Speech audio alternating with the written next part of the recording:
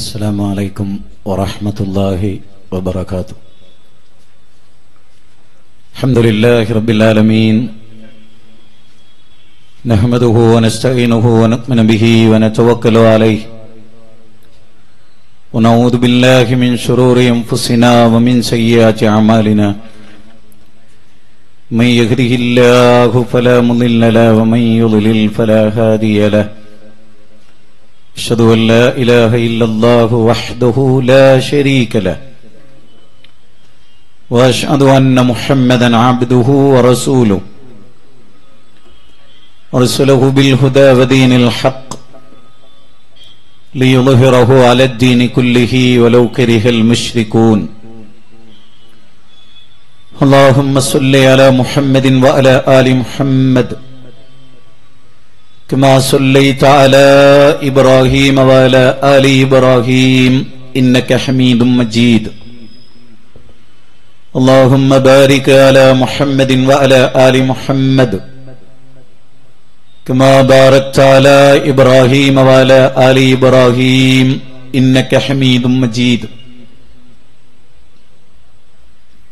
أما بعد فإن خير الحديث كتاب الله وخير السنن سنن محمد صلى الله عليه وسلم وشر الأمور محدثاتها وكل محدثة بدعة وكل بدعة ضلالة وكل ضلالة في النار. اتقوا الله عباد الله أوصيكم وإياي أولا بتقوى الله.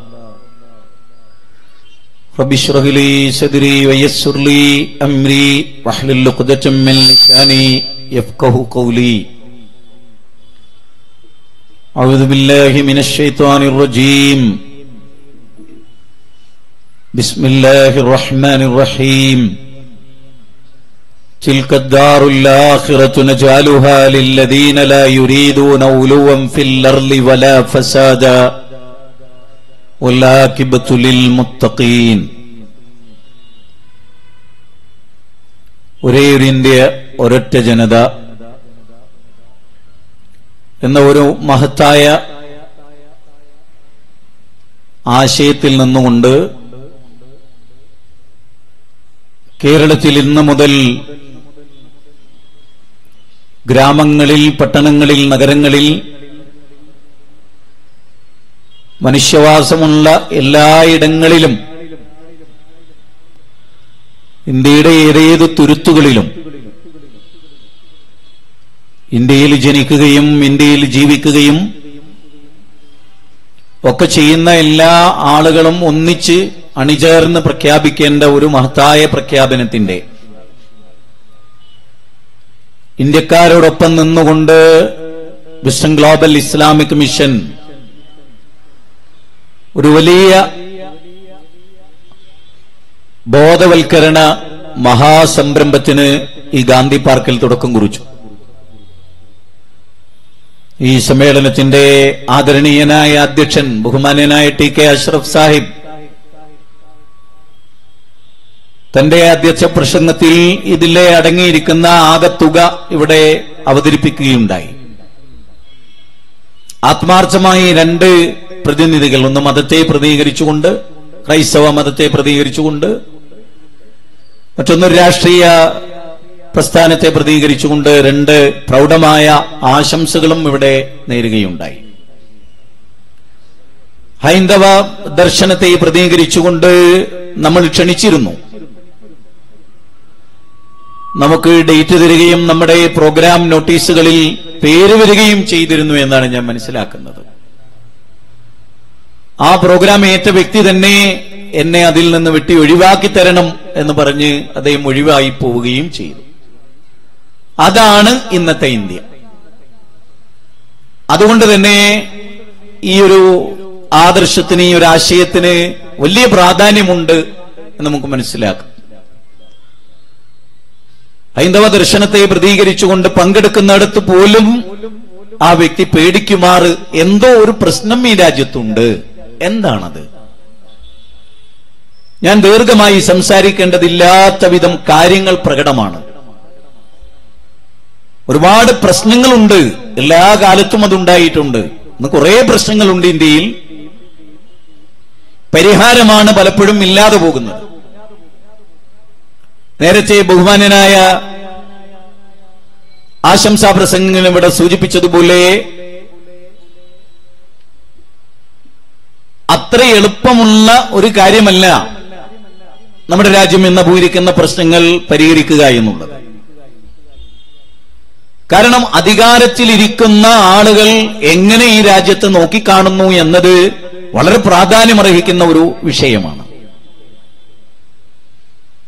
ഇവിടെ മഹാഭൂരിപക്ഷം വരുന്ന ഇന്ത്യക്കാർ നമ്മളൊക്കെ ഒരു ദേശം എന്ന നിലയിൽ ഇന്ത്യയാകുന്ന നമുക്കറിയാം ഭൂമി എന്ന് പറയുന്നത് പടച്ചതമ്പുരാന്റെ അനുഗ്രഹമായി മനുഷ്യർക്ക് വേണ്ടി സൃഷ്ടിക്കപ്പെട്ടിട്ടുള്ളതാണ്. മതപരമായി നമ്മൾ ഈ വിഷയത്തെ നോക്കിക്കാണുമ്പോഴും രാജ്യം എന്ന നിലയിൽ നമ്മൾ ഇതിനെയൊക്കെ നോക്കിക്കാണുമ്പോഴും നമുക്കറിയാം സൗദി അറേബ്യ. ആ അറേബ്യ എത്ര പവിത്രമായി മുസ്ലിമീങ്ങൾ കണ്ടാലും ആ അറേബ്യയെ ആരാധിക്കാൻ പാടില്ല മുസ്ലിമീങ്ങൾക്ക്. അവിടെ ഒട്ടകങ്ങളുണ്ട് നമുക്കറിയാം പക്ഷെ ഒട്ടകത്തെ ആരാധിക്കാൻ പാടില്ല മുസ്ലിങ്ങൾ ഇപ്പൊ പരിശുദ്ധ കാബാലയം നമുക്കൊക്കെ അറിയാവുന്ന ഞാൻ എളുപ്പത്തിൽ ചില വിഷയങ്ങൾ പറഞ്ഞു പോവുകയാണ്. ഇന്ത്യയുടെ പ്രശ്നം എന്താണ് പരിഹാരം എന്താണ് എന്നതിലേക്ക് വളരെ വേഗത്തിൽ കടന്നു വരാൻ ആഗ്രഹിക്കുകയാണ്. ആളുകൾ സാധാരണ പറയും കാബയിൽ അജുർലസ്വതി എന്ന് പറയുന്ന ഒരു കല്ലുണ്ട്. ആ കല്ലിനെ ആരാധിക്കാനാണ് അവിടെ മുസ്ലിങ്ങൾ പോകുന്നത്?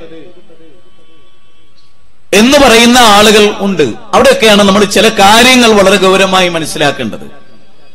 ഇപ്പൊ പരിശുദ്ധ കാബാലയം ഇന്ന അവല ബൈത്തിൻ മുബാറക്കൻ വഹുദല്ലിൽ ആലമീൻ. വിശുദ്ധ ഖുർആനിലെ മൂന്നാം അധ്യായം തൊണ്ണൂറ്റി ആറാമത്തെ വചനമാണ്. ദൈവത്തെ ആരാധി ഇന്ന ഔവല ബൈത്തിൻ ലോകത്തിലെ ആദ്യത്തെ ദൈവീക ഭവനം. അതാണ് ബക്കയിലെ മക്കയിലെ പരിശുദ്ധ കാബാലയം ലോകത്ത് ദൈവത്തെ ആരാധിക്കാൻ ഉണ്ടാക്കിയ ആദ്യത്തെ ഭവനം. ഇന്ന ഔവല ബൈത്തിൻ ബിബക്കത്ത മുബാറകൻ ആലമീൻ. ലോകർക്ക് മുഴുവനും മാർഗദർശന കേന്ദ്രമായി ദൈവത്തെ ആരാധിക്കുന്ന ഭവനം. അതാണ് കാബാലയം ആ കാബാലയത്തിലെ ഒരു കല്ലോ തൂണോ ആ കാബാലയത്തിലെ മറ്റെന്തെങ്കിലും ഒന്നോ ആരാധിക്കപ്പെട്ടുകൂടാ എന്ന നിർബന്ധം മുസ്ലിങ്ങൾക്കുണ്ട് വിശുദ്ധ ഖുറാനിൽ സൂറത്ത് ഖുറൈഷ് എന്ന് പറയുന്ന ഒരു അധ്യായമുണ്ട്. സൂറത്ത് ഖുറൈഷ് എന്ന അധ്യായത്തിൽ വിശുദ്ധ ഖുർആൻ പറയുന്നത്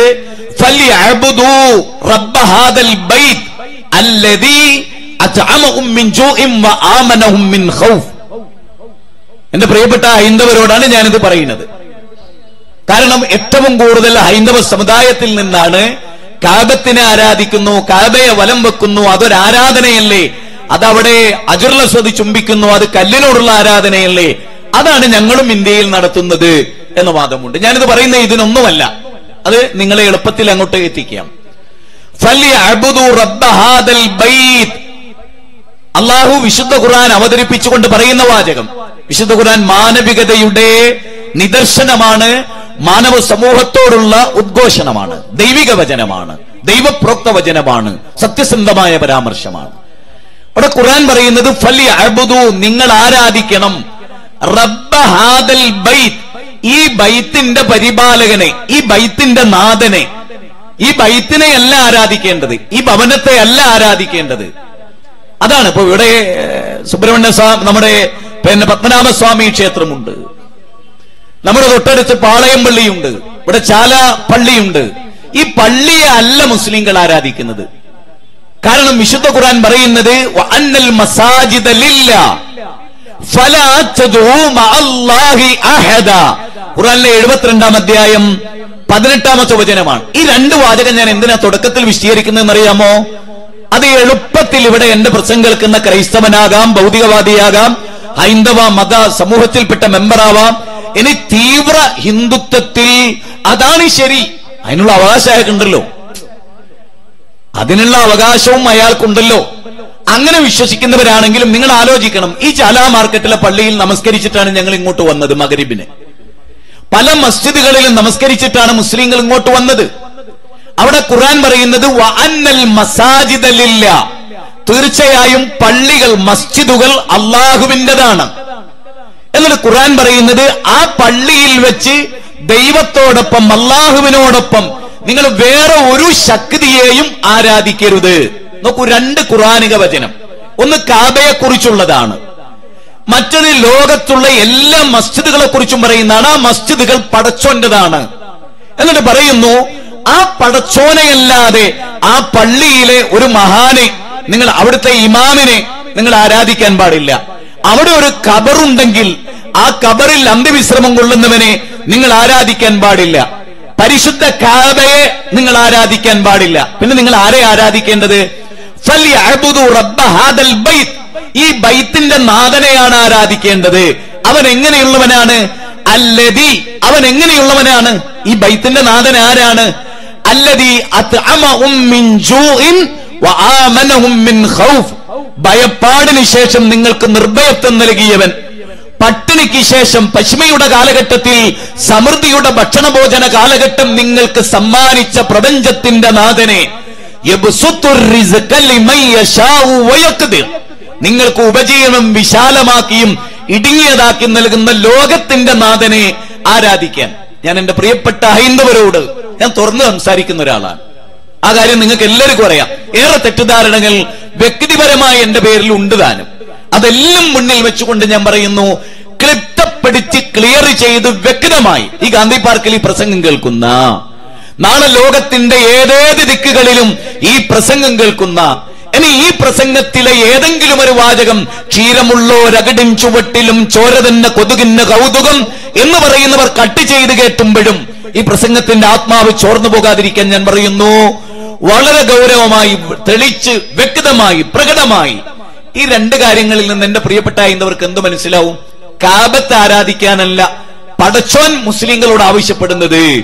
പള്ളിയിലെ ഏതെങ്കിലും വ്യക്തികളെയോ മാലാകമാരെയോ ജിന്നുകളെയോ അമ്പിയാക്കളെയോ തങ്ങന്മാരെയോ ബീവിമാരെയോ ആരാധിക്കാനല്ല ഖുർആൻ ലോകത്തോട് പറയുന്നത്. ആ ബൈത്തിന്റെ നാഥനെ പള്ളി ദൈവത്തിന്റെതാണ് അള്ളാഹുവിന്റെതാണ്. ആ അള്ളാഹുവിനെയാണ് ആരാധിക്കേണ്ടത്. എന്ന തത്വം. എന്ത് മനസ്സിലായി നിങ്ങൾക്ക്? ഒരു മുസ്ലിമിനോട് വിശുദ്ധ ഖുറാനിന്റെ അനുയായികളായി തീരുന്നവരോട് ഖുറാൻ ആവശ്യപ്പെടുന്നത് എന്താണ്? സൂര്യനെ ആരാധിക്കരുത് എന്നാണ്. ചന്ദ്രനെ ആരാധിക്കരുത് എന്നാണ്. നക്ഷത്രെ ആരാധിക്കരുത് എന്നാണ്.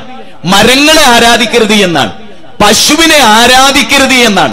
പാമ്പിനെ ആരാധിക്കരുത് എന്നാണ്. എന്തിന്?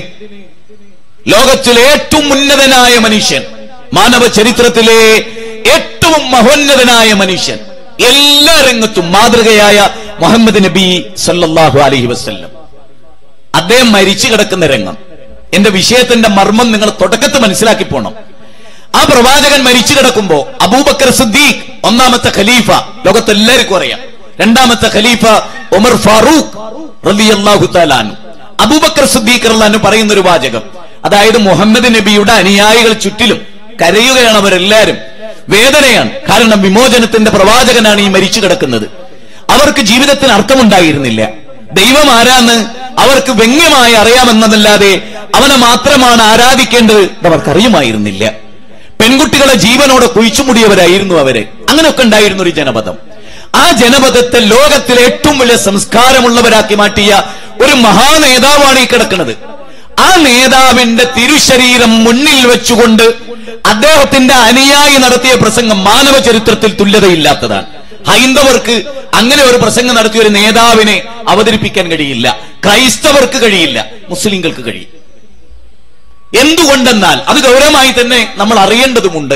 അബൂബക്കർ സുദ്ദീഖ് എഴുന്നേറ്റ് എന്ന് പറയുന്നത് എന്താണെന്നറിയോ? ഈ മരിച്ചു കിടക്കുന്ന മുഹമ്മദ് എന്ന പ്രവാചകനെയാണ് മുസ്ലിം ഉമ്മത്തെ നിങ്ങൾ ആരാധിക്കുന്നതെങ്കിൽ അത് മാത്ത. അദ്ദേഹം മരിച്ചു. മരിച്ചു. അദ്ദേഹത്തെ ആരാധിക്കാൻ കൊള്ളില്ല. മരിക്കുന്ന ഒരാളെ ആരാധിക്കാൻ പറ്റില്ല. ഇസ്ലാമിന്റെ തത്വമാണ്. എന്നിട്ട് അദ്ദേഹം പറഞ്ഞു അല്ല ലോകത്തിന്റെ നാഥനെയാണോ ആരാധിക്കുന്നത് നിങ്ങൾ? നിങ്ങൾ ഈ കിടക്കുന്ന പ്രവാചകനെയാണോ അല്ല ലോകത്തിന്റെ നാഥനെയാണോ ആരാധിക്കുന്നത്? എങ്കിൽ ഹയ്യുല്ലായമൂത്ത് നിങ്ങൾ ആരാധിക്കുന്ന ലോകത്തിന്റെ നാഥന് മരണമില്ല. പശുവിന് മരണമുണ്ട്. പാമ്പിന് മരണമുണ്ട്.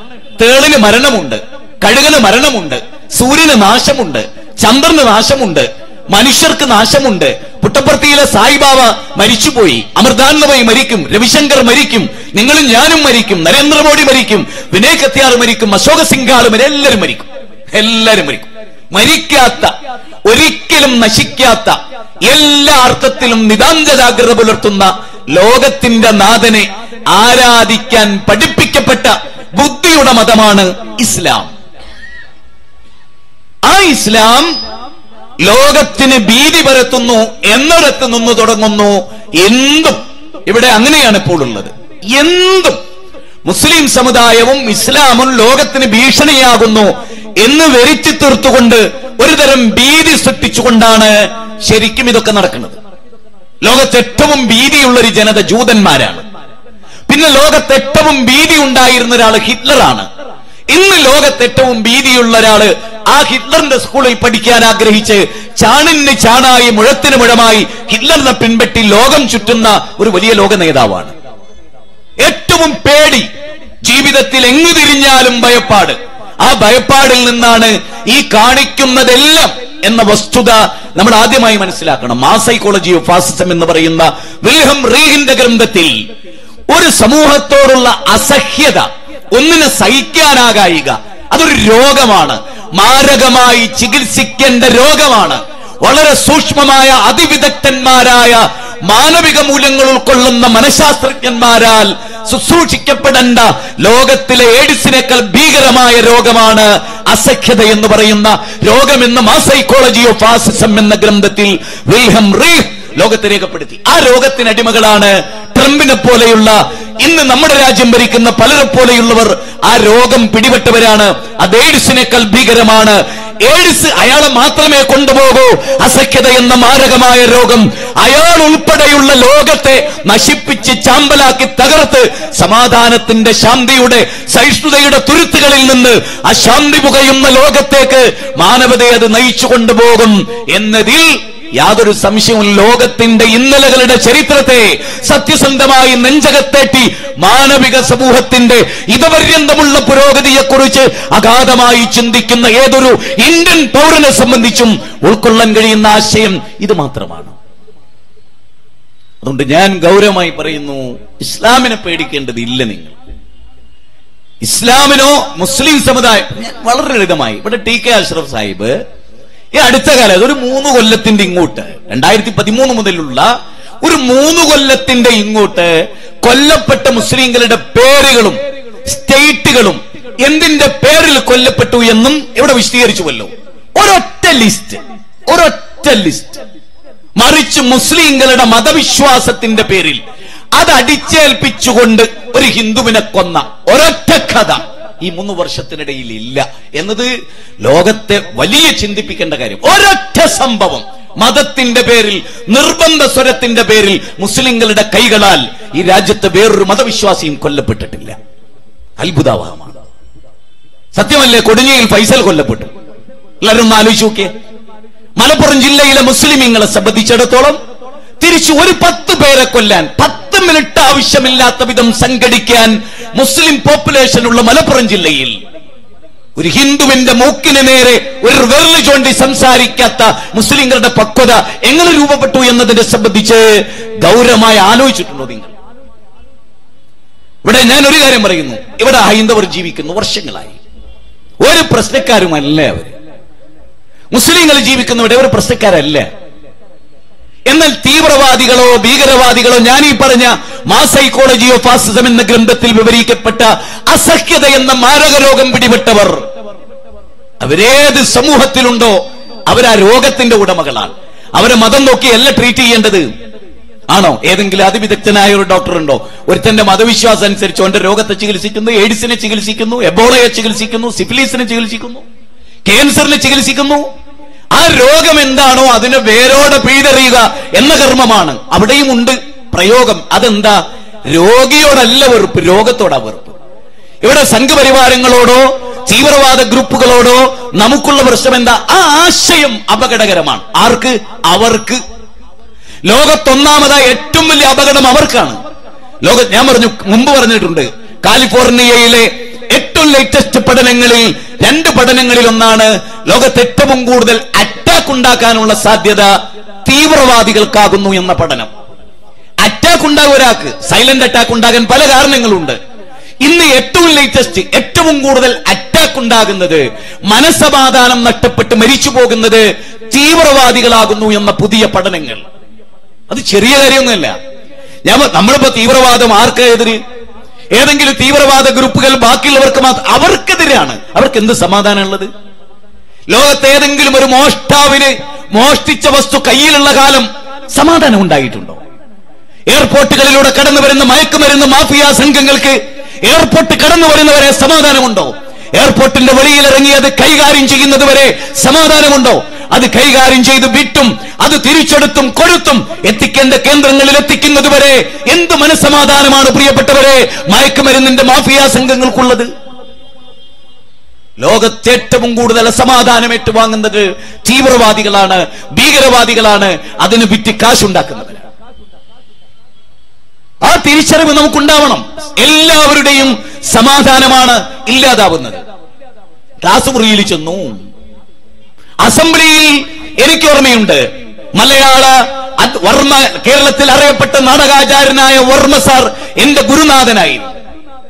മലയാളത്തിന്റെ നമ്പൂരി സാർ കേരളത്തിൽ അറിയപ്പെട്ട മലയാള അധ്യാപകൻ എന്റെ മലയാള അധ്യാപകനായിരുന്നു ഞാൻ പിച്ച വെച്ച് വളർന്ന സ്കൂളിന്റെ പടിവാതിക്കൽ ചിരിച്ചും കളിച്ചും എന്റെ ബാബും എന്റെ സുരേഷും എന്റെ ദിലീപും ഒന്നിച്ചു വളർന്ന ഓർമ്മകളിൽ നിന്ന് ഇന്ന് ദിലീപ് കടന്നു പോകുമ്പോൾ എന്റെ ക്ലിപ്പ് കട്ട് ചെയ്ത് കേൾപ്പിച്ചതിന്റെ വൈകാരികതയിലാണ് എന്റെ ദിലീപ് എന്നെ നോക്കിക്കൊണ്ടിരിക്കുന്നത്. കാലം മാറി അണുനിമിഷം മാറിക്കൊണ്ടിരിക്കുന്ന ഇന്ത്യയുടെ പശ്ചാത്തലത്തിൽ നിന്നുകൊണ്ട് ഒരു ഇന്ത്യൻ പൗരൻ എന്ന നിലയിൽ ഒന്നാമതായി രണ്ടാമതായി മൂന്നാമതായി അവസാനമായി ഞാൻ ഒരു മുസൽമാനാണ് എന്ന് പ്രഖ്യാപിക്കുന്നതോടൊപ്പം ഒന്നാമതായും രണ്ടാമതായും മൂന്നാമതായും അവസാനമായും ഞാൻ ഒരു ഇന്ത്യക്കാരനാണ് എന്ന് പ്രഖ്യാപിച്ച മൗലാന മുഹമ്മദ് അലി ജൗഹറിന്റെ ആ പ്രഖ്യാപനം ഓർത്തുകൊണ്ട് ഈ ഗാന്ധി പാർക്കിൽ മോഹൻദാസ് കരംചന്ദ് ഗാന്ധി എന്ന് പറയുന്ന പോർബന്ദറിൽ ജനിച്ച എന്റെ ജീവിതമാണ് എന്റെ സന്ദേശം എന്ന് പ്രഖ്യാപിച്ച ഇവിടുത്തെ നാൽപ്പത്തൊന്ന് കോടി മനുഷ്യരും ഡ്രസ് ധരിക്കാതെ ഞാൻ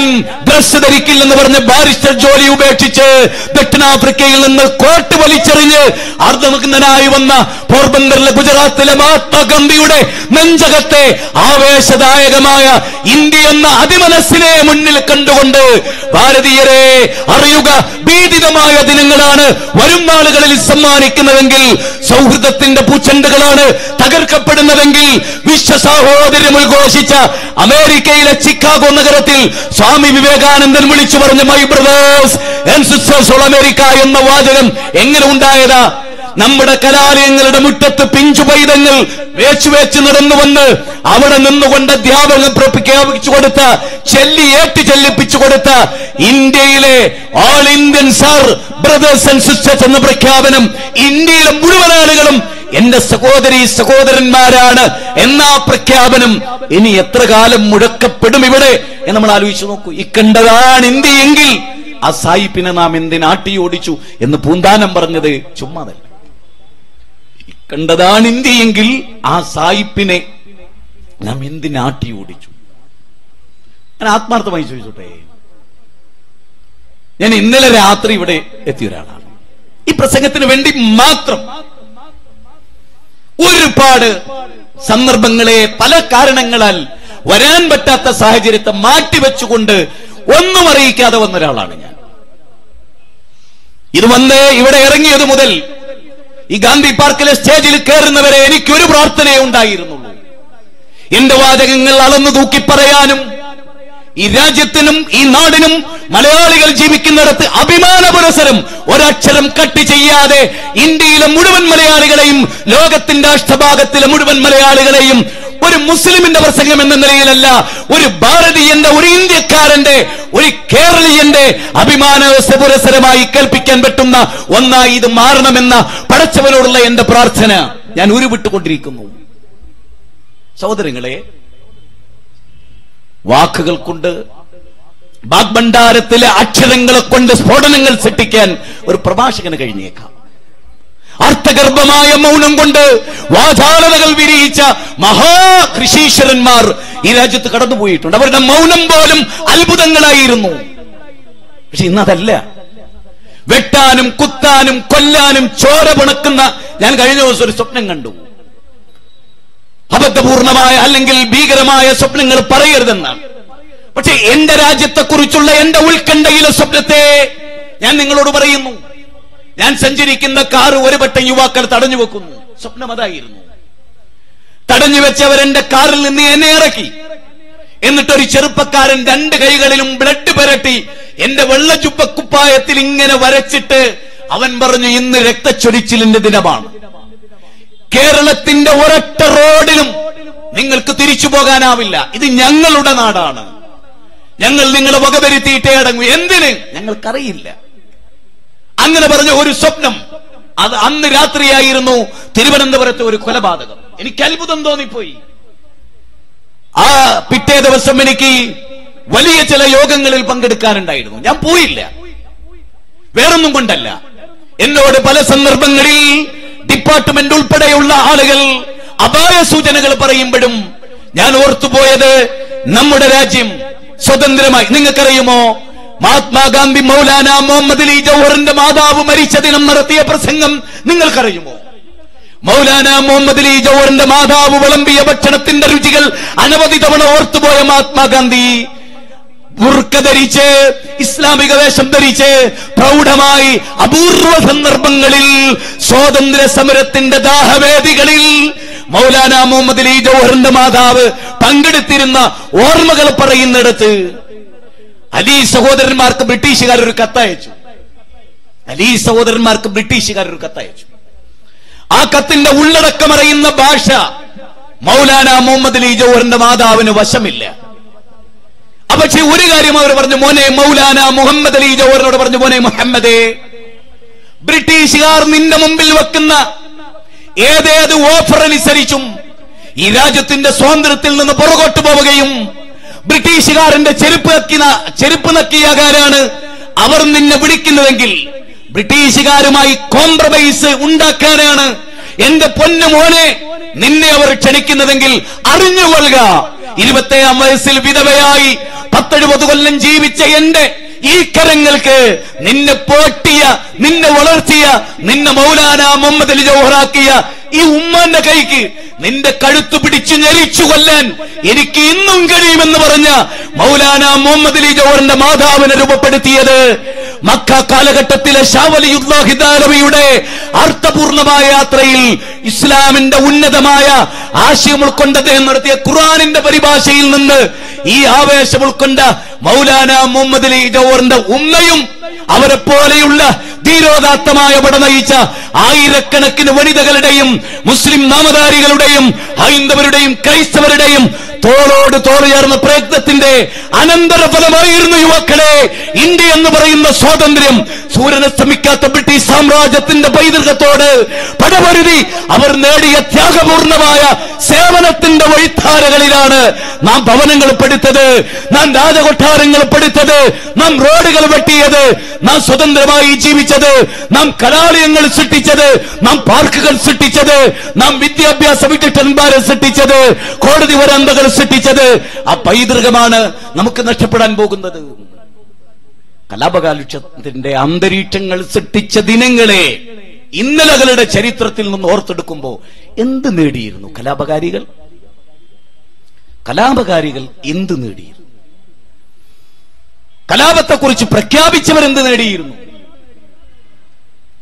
വിശുദ്ധ ഖുർആന്റെ ഒരു ആയത്തെ ഞാൻ ഇവിടെ ഓതി വെച്ചുള്ളൂ ഞാൻ ഖുർആൻ കൂടുതൽ ഉദ്ധരിക്കാൻ ആഗ്രഹിക്കുന്നു. ഒരേ ഒരു ഇന്ത്യ ഒരൊറ്റ ജനത എന്ന് പറയുമ്പോൾ ഒന്നുകൂടെ ഞാൻ വ്യക്തമാക്കും. ഒരേ ഒരു ഇന്ത്യ ഒരൊറ്റ ജനത എന്ന മുദ്രാവാക്യത്തിന്റെ ആത്മാവ്. ആത്മാവ് എന്താണെന്നറിയോ നിങ്ങൾക്ക്? നിരീശ്വരവാദിയുണ്ട് ഈ നാട്ടിൽ. ബൗദ്ധവിശ്വാസികൾ ലോകത്ത് ഏറ്റവും കൂടുതലുള്ള രാജ്യം. സൃഷ്ടിപൂജ ഏറ്റവും അരങ്ങ് തകർക്കുന്ന രാജ്യം. സൃഷ്ടിപൂജയുടെ പേരിൽ മനുഷ്യരെ കൊല്ലുന്ന ഏകലോകം ഏകരാജ്യ ഏകരാജ്യം മനുഷ്യ ചരിത്രത്തിൽ തന്നെ ഭീതിതമായ രാജ്യം. സൃഷ്ടിപൂജയുടെ പേരിൽ മനുഷ്യരെ കൊല്ലാൻ അറുപ്പും വെറുപ്പും തീർന്ന കാബാലികന്മാർ ജീവിക്കുന്ന ഇന്ത്യ എന്ന് പറയുന്ന മനോഹരമായ രാജ്യം. വട്ടമേശ സമ്മേളനത്തിന് വട്ടമേശ സമ്മേളനത്തിന് ആയിരത്തി തൊള്ളായിരത്തി മുപ്പതുകളിൽ മൗലാന മുഹമ്മദ് അലി ജൗഹർ മാത്രമല്ല അലാമ ഇക്ബാൽ എന്ന ദേശസ്നേഹിയായ ആ മഹാഗായക ശിരോമണി. കവിതാ വൈഭവങ്ങളെ കൊണ്ട് മനുഷ്യ മനസ്സിനെ അരയാലില പോലെ അവരെ സ്പന്ദനം ചെയ്യിപ്പിച്ച രോമാഞ്ചദായകമായ ജാജ്വല്യമാനമായ കവിതാ ചരിത്രം രചിച്ച അല്ലാമ ഇക്ബാൽ. അല്ലാമ ഇക്ബാൽ ഹിന്ദുവും മുസ്ലിമും ഭാരതത്തിന്റെ ജ്വലിക്കുന്ന രണ്ട് കണ്ണുകളാണ്. എന്താണ്? ഭാരതാംബയുടെ കണ്ണിലെ കരട് എന്ന വിചാരധാരയിലെ മുദ്രാവാക്യമല്ല. ഭാരതത്തിന്റെ ജ്വലിക്കുന്ന രണ്ട് കണ്ണ് എന്റെ ഈ കണ്ണിന് കേട് വന്നാൽ അത് എന്റെ വേദനയാണ്. ഈ കണ്ണിനെ അത് ബാധിക്കും. ഹിന്ദുവോ മുസൽമാനും രണ്ട് കണ്ണാണ്.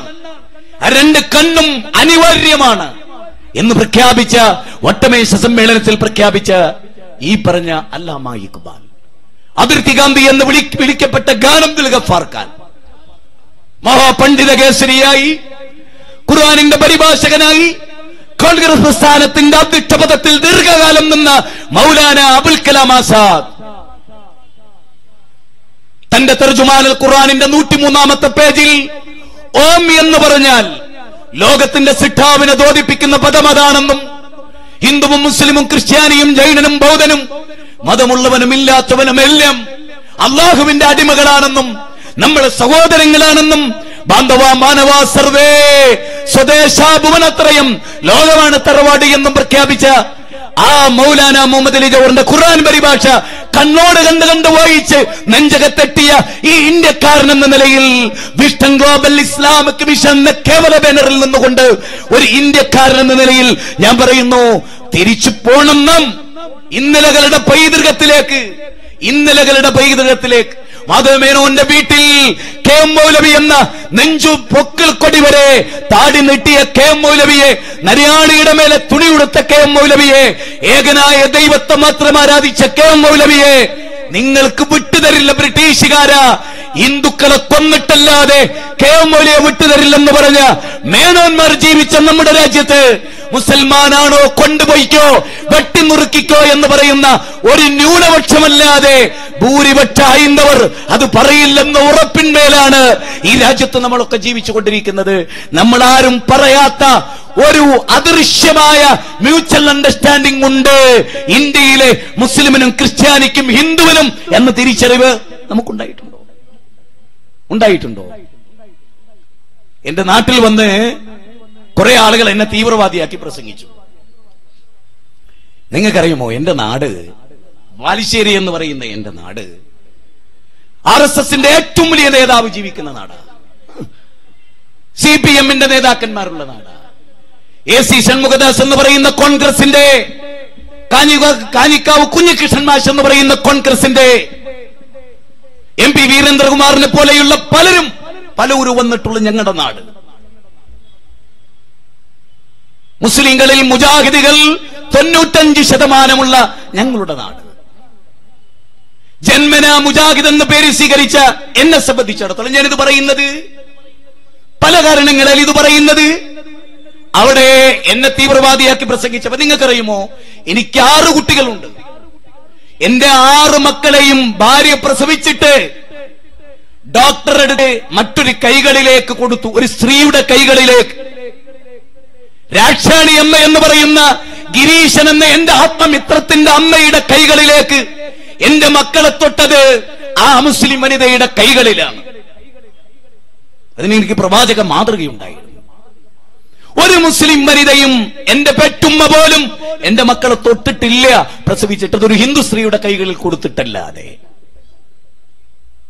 ഈ കൊല്ലം ജില്ലയിൽ ജനിക്കുകയും ഭീമാപ്പള്ളിയുടെ പ്രാന്തപ്രദേശങ്ങളിൽ ഒഴിവാക്കപ്പെടുകയും ചെയ്ത ഒരു ഹിന്ദു സഹോദരിയുടെ മകനാണ് എന്റെ ബിലാൽ എന്നത് എത്ര പേർക്കറിയാം ഇവിടെ? ജാതിയും മതവും മറന്ന് മനുഷ്യരെ സ്നേഹിക്കാൻ പഠിപ്പിക്കപ്പെട്ട ഒരു മതത്തിന് ഹിന്ദുവും മുസ്ലിമും ക്രിസ്ത്യാനിയും ജൈനനും അള്ളാഹുവിന്റെ അടിമകളാണെന്ന് പഠിപ്പിക്കപ്പെടുന്ന ഒരു മതത്തിന് പശുവും പാമ്പും താളും പടച്ചവന്റെ സിട്ടിയാണെന്ന് പഠിപ്പിക്കപ്പെടുന്ന ഒരു മതത്തിന് മാലാകമാരും ജിന്നുകളും അമ്പിയാക്കളും അള്ളാഹുവിന്റെ പടപ്പുകളാണെന്ന് പഠിപ്പിക്കപ്പെടുന്ന ഒരു മതത്തിന് മനുഷ്യരെ സ്നേഹിക്കാനല്ലാതെ സൃഷ്ടികളെ സ്നേഹിക്കാനല്ലാതെ അവർ ഉന്മൂലനം ചെയ്യാൻ കഴിയില്ല. അവിടെ നിന്നുകൊണ്ട് ഞാൻ ചോദിക്കുന്നു നിങ്ങളോട് എന്താണ് ഇന്ത്യയിൽ നടക്കുന്നത്? ഒരു കാര്യം ഉറപ്പല്ലേ?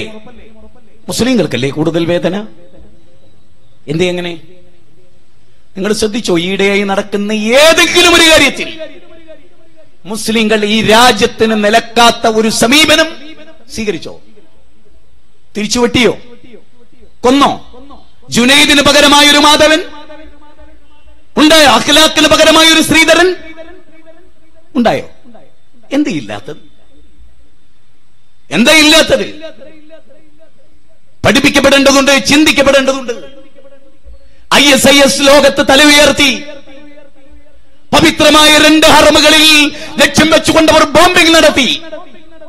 അതൊക്കെ നടത്തുന്നതിന് മുമ്പ് ഐ എസ് ഐ എസ് പിച്ച വെച്ച് നടന്നപ്പോൾ ആ വിഷവിത്തിന് വെച്ചേക്കരുത്. മുളയിലെ നുള്ളിക്കളയണമെന്ന് നാൽപ്പത് ലക്ഷം മനുഷ്യരെ സാക്ഷി നിർത്തി. ഹറമിന്റെ ഇമാം അഷ് ആലു ഷെയ്ഖ് ലോകത്തോട് പറഞ്ഞത് നിങ്ങളൊക്കെ കേട്ടു. ഇന്ത്യയിൽ കിരാതമായ പലതും നടക്കുന്നു നടന്നുകൊണ്ടിരിക്കുന്നു. ഇപ്പോഴും അവരുടെ പണിപ്പുരയിൽ പ്ലാനിങ്ങുകൾ നടന്നുകൊണ്ടിരിക്കുന്നു. ഞാൻ ഈ പറയുന്ന സെക്കൻഡിലും ചില ഷാമാരുടെ തലച്ചോറുകളിൽ ഭീകരവാദത്തിന്റെ പുതിയ അടവുകൾ പയറ്റിക്കൊണ്ടിരിക്കുന്നു അതുപോലെ ഈ രാജ്യത്തിന്റെ കോടീശ്വരന്മാർ അവരുടെ അരമനകളിൽ കോടികൾ കൊണ്ടുപോയി തള്ളിക്കൊടുക്കുന്നു. അത് അണ്ണാക്കിൽ കുത്തിക്കൊടുത്ത് രാഷ്ട്രീയക്കാരെ വിലക്കെടുക്കുന്നു നമ്മുടെ രാജ്യത്ത്. ആണും പെണ്ണും കെട്ടവർ എന്ന് പലപ്പോഴും നമ്മൾ ഡയലോഗ് അടിക്കാൻ പറയുമായിരുന്നെങ്കിലും ഭാരതത്തിലെ പലതും ഇന്ന് ആണും പെണ്ണും കെട്ടവരാണ്. നട്ടെല്ലിന്റെ ഫോട്ടോസ്റ്റാറ്റ് തലയാണക്കടിയിൽ കാത്തു സൂക്ഷിക്കാൻ പോലും യോഗ്യതയില്ലാത്തവർ. താൻ തന്നെയാണ് കുഴിയിലിടുന്നത് എന്ന് തിരിച്ചറിയാത്തവർ. നേരത്തെ പറഞ്ഞ പണാധിപത്യത്തിന്റെ പിന്നാലെ പോകുമ്പോ താൻ ഇരിക്കുന്ന കൊമ്പാണ് വെട്ടുന്നത്. ഒരു രാജ്യം ശാന്തമായി മുന്നോട്ട് പോയാലല്ലാതെ തനിക്ക് സ്വസ്ഥമായി ജീവിക്കാൻ കഴിയില്ല എന്ന തിരിച്ചറിവിൽ നിന്ന് ഹിന്ദുവും മുസ്ലിമും ക്രിസ്ത്യാനിയും ജൈനനും വ്യത്യസ്ത മതവിശ്വാസക്കാരാണ്. യാതൊരു സംശയമില്ല ആ വ്യത്യസ്ത മതവിശ്വാസം വെച്ച് പുലർത്തുമ്പോഴും ഇന്ത്യക്കാരെന്ന നിലയിൽ ഒരൊറ്റ ജനതയായി നമ്മൾ ജീവിച്ചു. രാജ്യങ്ങളുടെ അതിർവരമ്പുകൾ കടന്ന് നമ്മൾ പോകുമ്പോ അഭിമാന പുരസരം ഞാനൊരു ഇന്ത്യക്കാരനാണെന്ന് പറഞ്ഞു. എന്തൊക്കെ പൂജ സമ്പ്രദായങ്ങളുള്ള നാട്? ഭാഷകളുള്ള നാട് ജാതിയുള്ള നാട് പക്ഷെ ഇന്ത്യക്കാർ. എന്ന ചിന്ത നമുക്കുണ്ടായിരുന്നു. ആ ചിന്ത നമുക്ക് നഷ്ടപ്പെട്ടു പോയത് എന്തുകൊണ്ട്? എന്ന ഗൗരവകരമായ കാര്യം. പശു ഇന്നൊരു വിവാദമാണ്. പത്തു കൊല്ലങ്ങൾക്ക് മുമ്പ് ഈ ഉള്ളവൻ കേരളക്കരയിലെ ജനങ്ങളോട് പറഞ്ഞു നാളെ നമ്മൾ വാങ്ങണ ചാളയില്ലേ മത്തി അതിന്റെ പേരിൽ ഇന്ത്യ രാജ്യത്ത് മനുഷ്യർ കൊല്ലപ്പെടും. എഴുതി വെച്ചോടി മത്തിയും അയിലയും ദൈവമാകും. ആയി. ചില സ്ഥലങ്ങളിലെങ്കിലും ആവും അത്. ഇന്ന് പശുവാണ് ആയുധമെങ്കിൽ ഇന്നലെ അതല്ല. രാമഭക്തി തുളുമ്പി നിൽക്കുന്ന രാമഭക്തരെ ചതിക്കുകയായിരുന്നു. ലാൽ രയാ- രഥയാത്ര മുന്നോട്ട് പോയപ്പോ ഉണ്ടായിട്ടുള്ളത്. രാമൻ എന്ന ശബ്ദത്തിന്റെ അർത്ഥം രമ്യത ഉണ്ടാക്കുന്നവൻ എന്നാണ് രണ്ടാളുകൾ തമ്മിൽ കലാപമുണ്ടായാൽ അവരെ ഒന്നിപ്പിക്കുക എന്ന സ്വരത്തിൽ നിന്നാണ് രാമശബ്ദം രൂപപ്പെട്ടത്. ഭാരതജന്റെ കൂടെ തമസാ നദിയുടെ തീരത്ത് പോയ വാൽമീകി മാനുഷാദ എന്ന് പറഞ്ഞത് അവിടെയാണ്. ഒരു പക്ഷിക്കുഞ്ഞിന്റെ നെഞ്ചകത്തു നിന്ന് പോലും ഒരു തുള്ളി രക്തം വീഴരുത് എന്ന് പാടുകയും ജുനൈദിന്റെ ശരീരത്തിന്റെ വ്യത്യസ്ത ഭാഗങ്ങളിൽ കടാര കുത്തിയിറക്കി ആനന്ദിക്കുന്ന ഈ മാരക രോഗമുണ്ടല്ലോ. അസഖ്യത എന്ന് പറയുന്ന തൊപ്പി കാണുമ്പോൾ താടി കാണുമ്പോൾ ജുബ്ബ കാണുമ്പോൾ അസഹ്യത സൈക്കോളജി ഓഫ് ഫാസിസത്തിന്റെ ആ വാചകത്തെ ആവർത്തിച്ച് ഞാൻ പറയുന്നു ആ അസഖ്യത എന്ന മാരക രോഗത്തെ ചികിത്സിക്കാൻ ഇന്ത്യ രാജ്യത്തിന്റെ ഇന്നലകളുടെ പൈതൃകം മതി. അത് ധാരാളമാണ്. പക്ഷെ അവിടേക്ക് എത്താൻ അധികാര ദുരമൂത്തവരെ നമ്മൾക്ക് സഹായിക്കാം എന്ന് ഞാൻ പറയും. നമ്മൾ കയ്യൂയല്ല മോനെ അച്ഛ അമ്മേ നേതാവേ എന്ന് പറഞ്ഞവരെ ഉപദേശിച്ച് കൈപിടിച്ച് നന്നാക്കാൻ നമ്മളെ പോലെയുള്ള നാടൻ മനുഷ്യന്മാരിറങ്ങും. കരാട്ടയും കബഡിയും പഠിച്ചവനോട് മുതലേ മോനെ നാടൻ തല്ലുണ്ട്. ഈ രാജ്യം ഭരിക്കുന്ന മഹാനേതാക്കന്മാരോട് നാടൻ മനുഷ്യന്മാരിടപെടേണ്ട അവസരമാണിത്. അത് കൈകൊണ്ടല്ല ആയുധം കൊണ്ടല്ല സമ്മതിദാനാവകാശം എന്ന മഹായുധം.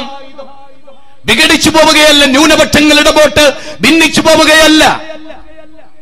മതേതര കാഴ്ചപ്പാടുള്ള India is a secular state cultural പ്ലൂറാലിറ്റിയുടെ cultural ടോളറൻസിന്റെ യൂണിറ്റി ഡൈവേഴ്സിറ്റി കാത്തു സൂക്ഷിച്ച നാനാത്വത്തിൽ ഏകത്വത്തിന്റെ സവിശേഷത കാത്തു സൂക്ഷിച്ച മതാധിഷ്ഠിത രാജ്യമല്ലാത്ത എല്ലാ മതങ്ങൾക്കും തുല്യ സ്വാതന്ത്ര്യം കൊടുത്ത ഏതേത് പൗരനും ഇഷ്ടമുള്ള മതം സ്വീകരിക്കാൻ സ്വാതന്ത്ര്യം കൊടുത്ത ഒരു മഹാ ഭരണഘടനയുള്ള ഒരു രാജ്യത്ത്? പേടിയുണ്ട് എല്ലാവർക്കും സത്യമാണ്. പേടിയുണ്ട്. പറയാൻ പേടിയുണ്ട്. പ്രവർത്തിക്കാൻ പേടിയുണ്ട്. ആ പേടി ഈ രാജ്യത്തെ നശിപ്പിക്കും.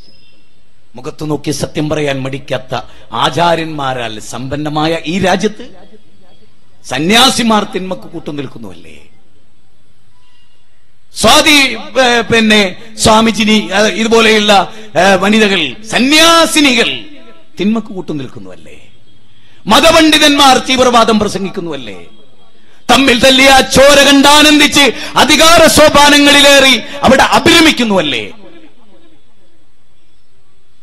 പതിനാല് വർഷം അയോധ്യ ഭരിക്കേണ്ട പട്ടാഭിഷേക സമയത്ത് അധികാരം വിട്ടച്ഛന്റെ കൽപ്പന ശിരസാ വഹിച്ച് കാട്ടിൽ പോയ ശ്രീരാമനെയല്ല നമ്മൾ മനസ്സിൽ പ്രതീക്ഷിച്ചത്.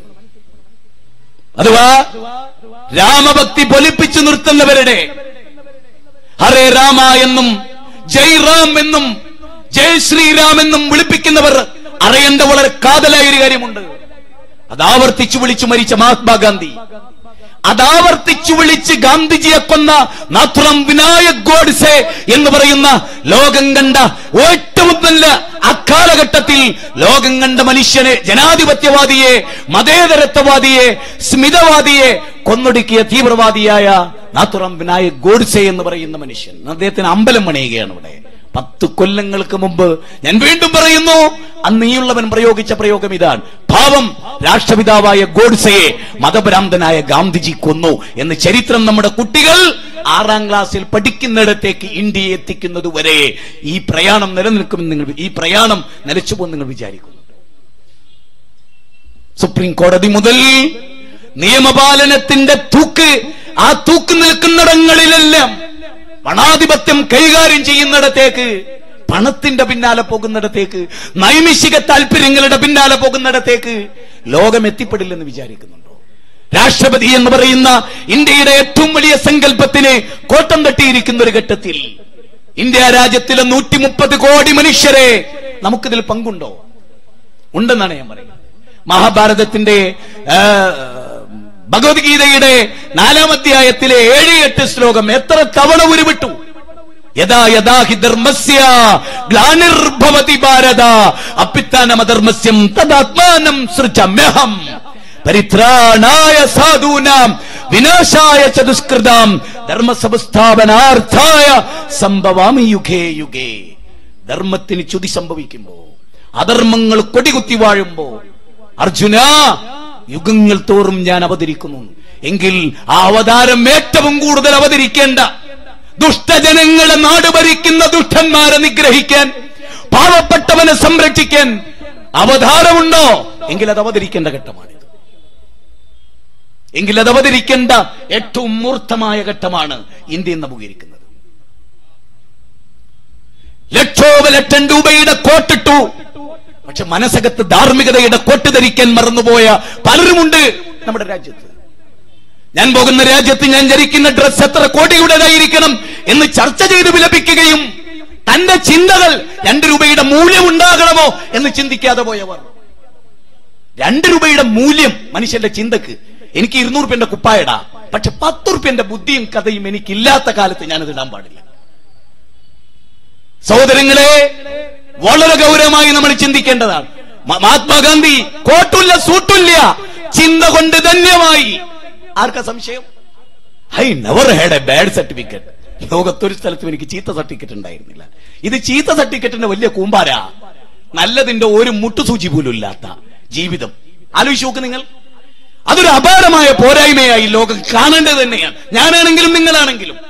ഈ രാജ്യത്ത് ജനിച്ചിട്ട് ഈ രാജ്യത്തെ പോലെയുള്ള ഒരു രാജ്യത്ത് ഏകദൈവ വിശ്വാസം പറയാൻ എനിക്ക് സ്വാതന്ത്ര്യമുണ്ട്. ഒരാൾക്ക് ബൗദൈവത്വം പറയാൻ സ്വാതന്ത്ര്യമുള്ള ഒരു നാട് ഈശ്വരൻ ഇല്ല എന്ന് പറയാൻ സ്വാതന്ത്ര്യമുള്ള ഒരു നാട് മതങ്ങൾ കുഴപ്പമാണെന്ന് പറയാൻ സ്വാതന്ത്ര്യമുള്ള ഒരു നാട്. ആ നാട് ആ നാടിന്റെ പ്രത്യേകത അതാണ് ആ നാട് എങ്ങനെ നിലനിൽക്കട്ടെ? മതാധിഷ്ഠിത രാജ്യങ്ങളുണ്ട് ക്രൈസ്തവ രാജ്യങ്ങളുണ്ട് ജൂതന്മാർ വെട്ടിപ്പിടിച്ചിട്ടുണ്ട് മുസ്ലിങ്ങളുടെ നാട് അവരുടേതെന്ന് പറയുന്നത്? മുസ്ലിങ്ങളാൽ ഭരിക്കപ്പെടുന്ന നാടുണ്ട്. പക്ഷെ ഇന്ത്യ അതല്ല. ഇന്ത്യ മുസൽമാന്റേതല്ല. ഇന്ത്യ ക്രിസ്ത്യാനിയുടേതല്ല. ഇന്ത്യ ഹിന്ദുവിന്റേതല്ല. ജൈനന്റെതല്ല ബൗദ്ധന്റെതല്ല. ഇന്ത്യക്കാരന്റെതാണ് അത് നാം മറന്നു പോകുന്നു. നാം അത് മറന്നു പോകുന്നു. ഇഷ്ടമുള്ളത് ജീവിത ശൈലിയായി സ്വീകരിച്ച പാരമ്പര്യമാണ് നമ്മുടെ പാരമ്പര്യം. ഹരേ രാം എന്ന് പറയുമ്പോൾ ഞാൻ എനിക്ക് അത്ഭുതം തോന്നിയിട്ടുണ്ട്. ആരാണ് ശരിക്കുള്ള രാമഭക്തന്മാർ ആരാണ് ശരിക്കുള്ള പ്രവാചകൻ അനുയായികൾ? എല്ലാം ചിന്തിച്ചോളൂ. ആരാണ് യഥാർത്ഥ ക്രിസ്ത്യാനി? അപ്പൊ നിങ്ങൾ നോക്ക് ഗോഡ്സെ ഗാന്ധിജിയെ കൊല്ലുമ്പോ രാമഭക്തി തുളുമ്പി അത് പ്രഖ്യാപിച്ച് വെടിവെക്കുന്നു രാമന്റെ പേര് പ്രഖ്യാപിച്ച് രാമനെ മന്ത്രിച്ച് മനസ്സിൽ കൊണ്ടുവന്ന് ഗാന്ധിജി മരിക്കുന്നു കൊന്ന ആളും മരിച്ച ആളും രാമഭക്തനാവുമോ ഒരാൾ പറയുന്നു ഞാൻ ശ്രീരാമന് വേണ്ടിയാണ് കൊന്നത്. മറ്റേയാൾ പറയുന്നു ഞാൻ ശ്രീരാമന് വേണ്ടിയാണ് മരിച്ചത്. ഇതിലേത് ശരി? ഇതിലേത് ശരി? ഗാന്ധിജിയുടേത് ശരി. എന്തുകൊണ്ട്? രാമൻ എന്ന പദത്തിന്റെ അർത്ഥം എന്താണോ അതിനു വേണ്ടി ഗാന്ധിജി ജീവിച്ചു. രാമൻ എന്ന ശബ്ദത്തിന്റെ അർത്ഥം എന്താണോ അത് ഇല്ലായ്മ ചെയ്യാൻ ഗോഡ്സെ ജീവിച്ചു. എങ്കിൽ ഗോഡ്സെക്കാണോ അമ്പലം ഗാന്ധിജിക്കാണോ അമ്പലം? എന്റെ പ്രിയപ്പെട്ട ഹൈന്ദവർ പറയൂ.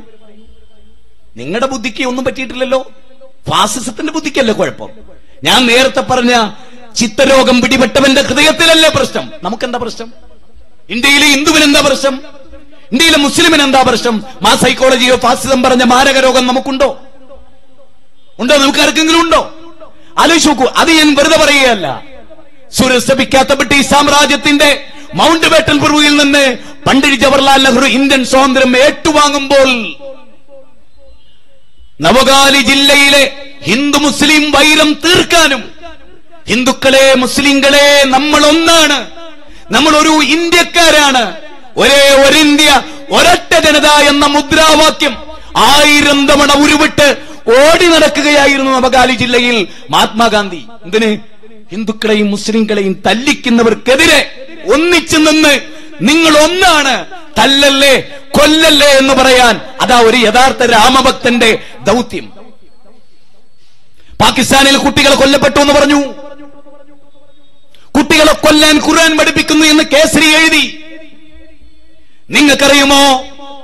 യുദ്ധരംഗത്ത് കൊല്ലപ്പെട്ട കുട്ടികളെ ചൂണ്ടിക്കാണിച്ച് അന്യമത സമൂഹത്തിന്റെ കുട്ടികളല്ലേ? അവരെ കൊന്നാൽ എന്താ കുഴപ്പമെന്ന് ചോദിച്ച വൈകൃതമുള്ള ഒരു സമൂഹത്തിന്റെ മനസ്സിലോട്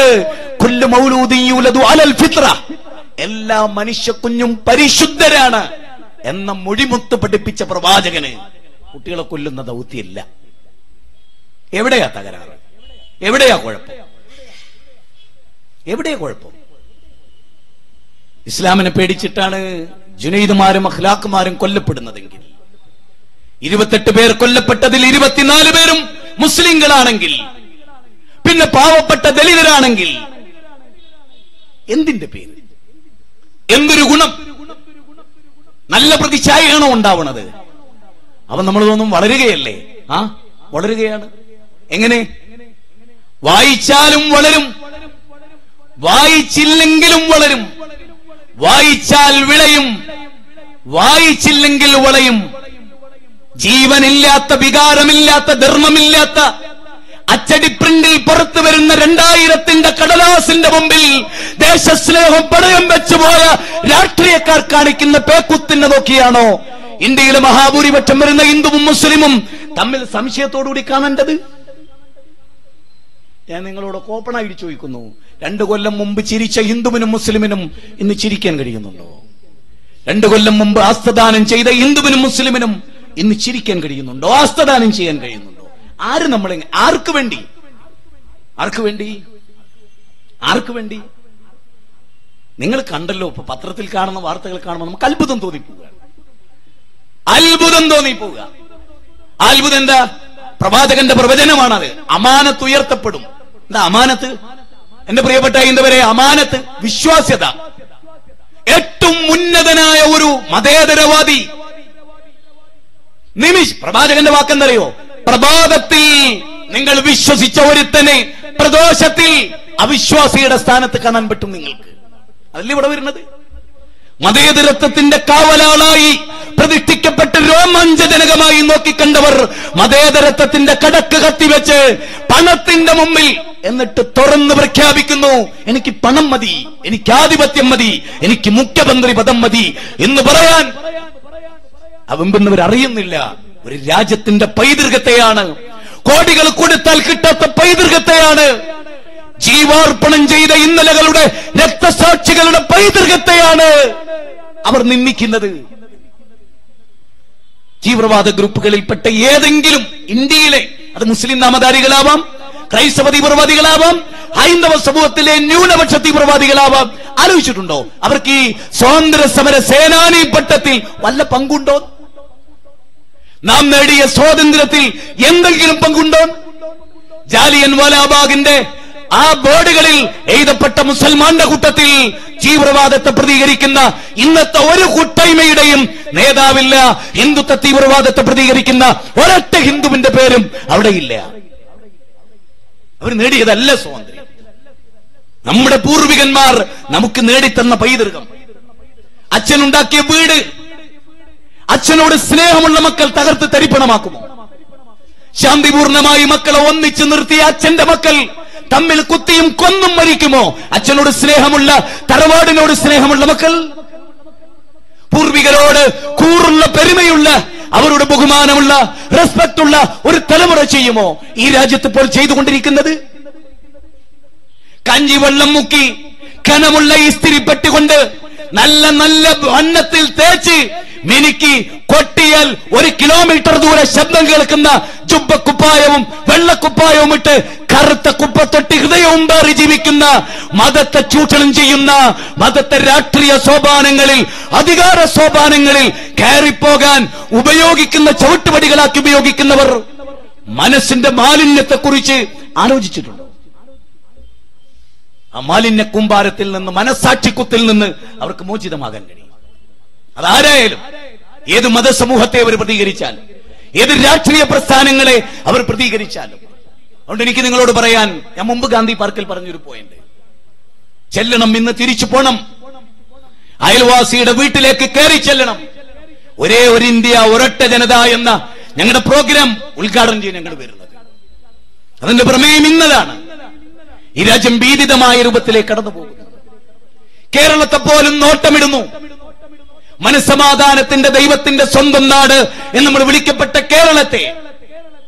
ജാതിമത വിദ്വേ ജാതിമത വിദ്വേഷം ഏതുമില്ലാതെ സോദരത്തേനെ വാഴുന്ന മാതൃസ്ഥാനമാണിത് എന്ന് പാടിയ പാട്ടുകൾക്കപ്പുറത്ത് അവനവൻ ആത്മസുഖത്തിനാചരിപ്പത് അവരന്റെ സുഖത്തിനായി വന്നിടണം എന്ന കവിതക്ക് പ്രസക്തിയില്ലാതെ പോയ ലോകത്ത്. തന്നാൽ കരേറേണ്ടവർ എത്ര പേരോ? താഴത്ത് പായ്ച്ചേറിലാണിടുമ്പോൾ താൻ മാത്രം ബ്രഹ്മപദം കുതിക്കും. തപോനിധിക്കെന്തൊരു ചാരിതാർത്ഥ്യം? എന്ന വരികൾക്ക് പ്രസക്തിയില്ലാത്ത ലോകത്ത് ഒരച്ഛന്റെ അമ്മമാർക്ക് പിറന്ന മക്കൾ ഓർത്താൽ ഒരൊറ്റ തറവാട്ടുകാർ കാരണം നാഥന്റെ മുറ്റത്ത് വിരിഞ്ഞു നിൽക്കും തന്മുന്തിരിക്കത്ത മനുഷ്യവർഗമെന്ന ആ കവിതാശകലത്തിന് പ്രസക്തിയില്ലാത്ത ലോകത്ത്. അക്ഷരത്താളുകളെ കൊണ്ട് അത്ഭുതം സൃഷ്ടിച്ച വൈജ്ഞാനിക ഗ്രന്ഥത്താളുകൾക്ക് വിലയില്ലാത്ത ലോകത്ത്. സത്യസന്ധമായി ത്യാഗപൂർണമായി ചരിത്ര പണ്ഡിതന്മാർ രചിച്ച ഗ്രന്ഥരചനകളെ കുഴിച്ചുമൂടി പെട്രോയിച്ച് തീയിട്ട് ഫാസിസത്തിന്റെ ശാസ്ത്രപ്പുരകളിൽ പുതുതായി പടുത്തുയർത്തപ്പെട്ട ഔറംഗസീബിന്റെ റോഡിന്റെ പേര് മാറ്റി എ പി ജെ അബ്ദുൽ കലാമിന്റെ പേര് കൊടുക്കുക വഴി ഇന്നലകളുടെ പാരമ്പര്യത്തെ വിസ്മരിക്കാൻ ശ്രമിക്കുന്ന താജ്മഹലിനെ തേജോമേൾ എന്ന് വിളിക്കാൻ കൊതിക്കുന്ന ആ മനസാക്ഷിക്കുത്തില്ലാത്ത കടന്നുകയറ്റക്കാരോട് നിങ്ങൾ നിങ്ങളുടെ ശത്രുക്കളാണ്. വളർന്നു വരുന്ന നിങ്ങളുടെ മക്കളും ഇവിടെ ജനിക്കുന്നുണ്ടല്ലോ. ഒറ്റയും തെറ്റയുമാണെങ്കിലും. അവരും ജീവിക്കേണ്ടത് ഈ രാജ്യത്ത് തന്നെ. അവരും വളരേണ്ടത് ഈ മണ്ണിൽ തന്നെ. വിഷവിത്തുകൾ പാകാനല്ല. സൗഹൃദത്തിന്റെ വിത്തുകൾ പാകാൻ. അറിയാൽ കുരുവിലെ കൊച്ചു കുരുവിൽ നിന്ന് പടർന്ന് പന്തലിച്ച് തണലയാകുന്ന അറിയാൽ വൃക്ഷത്തെ പോലെയാകാൻ അലന്തര കൈഫ ضرب الله مثلا كلمة طيبة كشجرة طيبة أصلها ثابت وفروها في السماء تؤتي أكلها كل حين بإذن ربها ഒരു മുസ്ലിമിനെ കുറിച്ച് ഖുർആൻ പറഞ്ഞത് അതാ ഒരു മുസൽമാനെ പറ്റി ഖുർആൻ പറഞ്ഞെന്നറിയോ ദൈവത്തിൽ അചഞ്ചലമായി വിശ്വസിക്കുകയും ഭൂമിയിലെ കാഴുന്ന വേരുകളുള്ള പണം കണ്ടാൽ കണ്ണഞ്ചി പോകാത്ത അധികാരം കണ്ടാൽ മറന്നു പോകാത്ത വന്ന വഴിത്താരകളിലെ മുള്ളും കിരീടവും മറന്നു പോകാത്ത കണ്ണുനീരിന്റെ ഇന്നലകളുടെ ചരിത്രം മറന്നു പോകാത്ത ആഴമേറിയ വേരുകളുള്ള മുസൽമാനെ നീർ വടവൃക്ഷമാണ് എന്ന് ഖുർആൻ പതിനാലാം അധ്യായം ഇരുപത്തി ഇരുപത്തഞ്ചിൽ ഇരുപത്തിനാല് ഇരുപത്തഞ്ച് ഇരുപത്തി ആറിൽ പറയും. ഖുർആൻ ദൈവത്തിന്റെ അനുമതി പ്രകാരം ചുറ്റിൽ ജീവിക്കുന്ന സഹജീവികളോട് നിന്റെ മുഴുവൻ നന്മകളും കിട്ടുന്നവരായി തീരണം എന്നാ. അതുകൊണ്ട് മുസ്ലിങ്ങളെ പേടിക്കണ്ട. മുസ്ലിങ്ങളെ പേടിച്ച് നിങ്ങൾക്ക് ഇടരുണ്ട വേണ്ട. സ്വന്തം കുഴിയാണ് ഒഴിച്ചുകൊണ്ടിരിക്കുന്നത്. ഇരിക്കുന്ന കൊമ്പാണ് വെട്ടുന്നത്.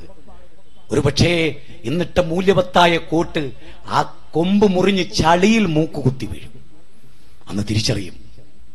നഷ്ടപ്പെട്ടു പോയ പൈതൃകം തിരിച്ചറിയും. തന്നെ കൊണ്ട് താൻ ജനിച്ച നാട് നേടിയതെന്ത് എന്ന് തിരിച്ചറിയും. പണ്ടൊക്കെ നമ്മൾ പറയുമായിരുന്നു ഉപകാരം വേണ്ട ഉപദ്രവിക്കില്ലേ. ഒരാൾ അയാളുടെ ജീനിൽ തന്നെ എഴുതി രേഖപ്പെടുത്തി വെക്കുന്നു ഉപദ്രവമല്ലാത്ത ഒന്നുണ്ടാവില്ല. അങ്ങനെ ഏത് വ്യക്തിയും ഏത് മതത്തെ പ്രതികരിക്കുന്നവനും ഏത് രാഷ്ട്രത്തെ പ്രതികരിക്കുന്നവനും ഒളിയ അജണ്ടകളുള്ളവർ ഞങ്ങൾക്ക് കൊച്ചി ഒളിയ അജണ്ടകളില്ല എല്ലാവർക്കും പ്രകടമാണ്. മുസ്ലിം സമുദായം ഒരുപക്ഷെ പലരും ഞങ്ങളെ തെറ്റിദ്ധരിച്ചിട്ടുണ്ടാവാം. ഞങ്ങൾ തുറന്നു പറയുന്നു ഒരു കയ്യടിയും ഞങ്ങൾ ഇന്ന് വരെ സ്വീകരിച്ചിട്ടില്ല. പാലക്കാട് കോട്ട മൈതാനിയിൽ ബാബരി മസ്ജിദിന്റെ തായികക്കുടങ്ങൾ തകർത്തപ്പോ മതം മനുഷ്യ സൗഹാർദ്ദത്തിനാണ് മതം എന്ന മുദ്രാവാക്യം ആരെയും പേടിച്ചുണ്ടായതല്ല ആരുടെ കയ്യടിയും കിട്ടാനുണ്ടായതല്ല. കൂടിയാലോചനയിലെ മീറ്റിംഗിൽ ആയിരത്തൊന്നാവർത്തിച്ച് മനുഷ്യന്റെ അന്തരാളം മനസ്സിന്റെ അന്തരാളങ്ങളിൽ നിന്ന് രൂപപ്പെട്ട ആശയമായിരുന്നു മതം മനുഷ്യ സൗഹാർദ്ദത്തിന്. പാലക്കാടിന്റെ കോട്ടമൈതാനിയിൽ മുടങ്ങിയത് ഗ്രാമങ്ങളിൽ മുടങ്ങിയത്. മനുഷ്യർക്ക് ഒന്നാണെന്ന് എന്നും ഞങ്ങൾ പ്രഖ്യാപിച്ച പ്രഖ്യാപനം. ഒരൊറ്റ ദൈവം ഒരൊറ്റ ജനത എന്ന ഞങ്ങളുടെ പ്രഖ്യാപനമാണ്. ഏകം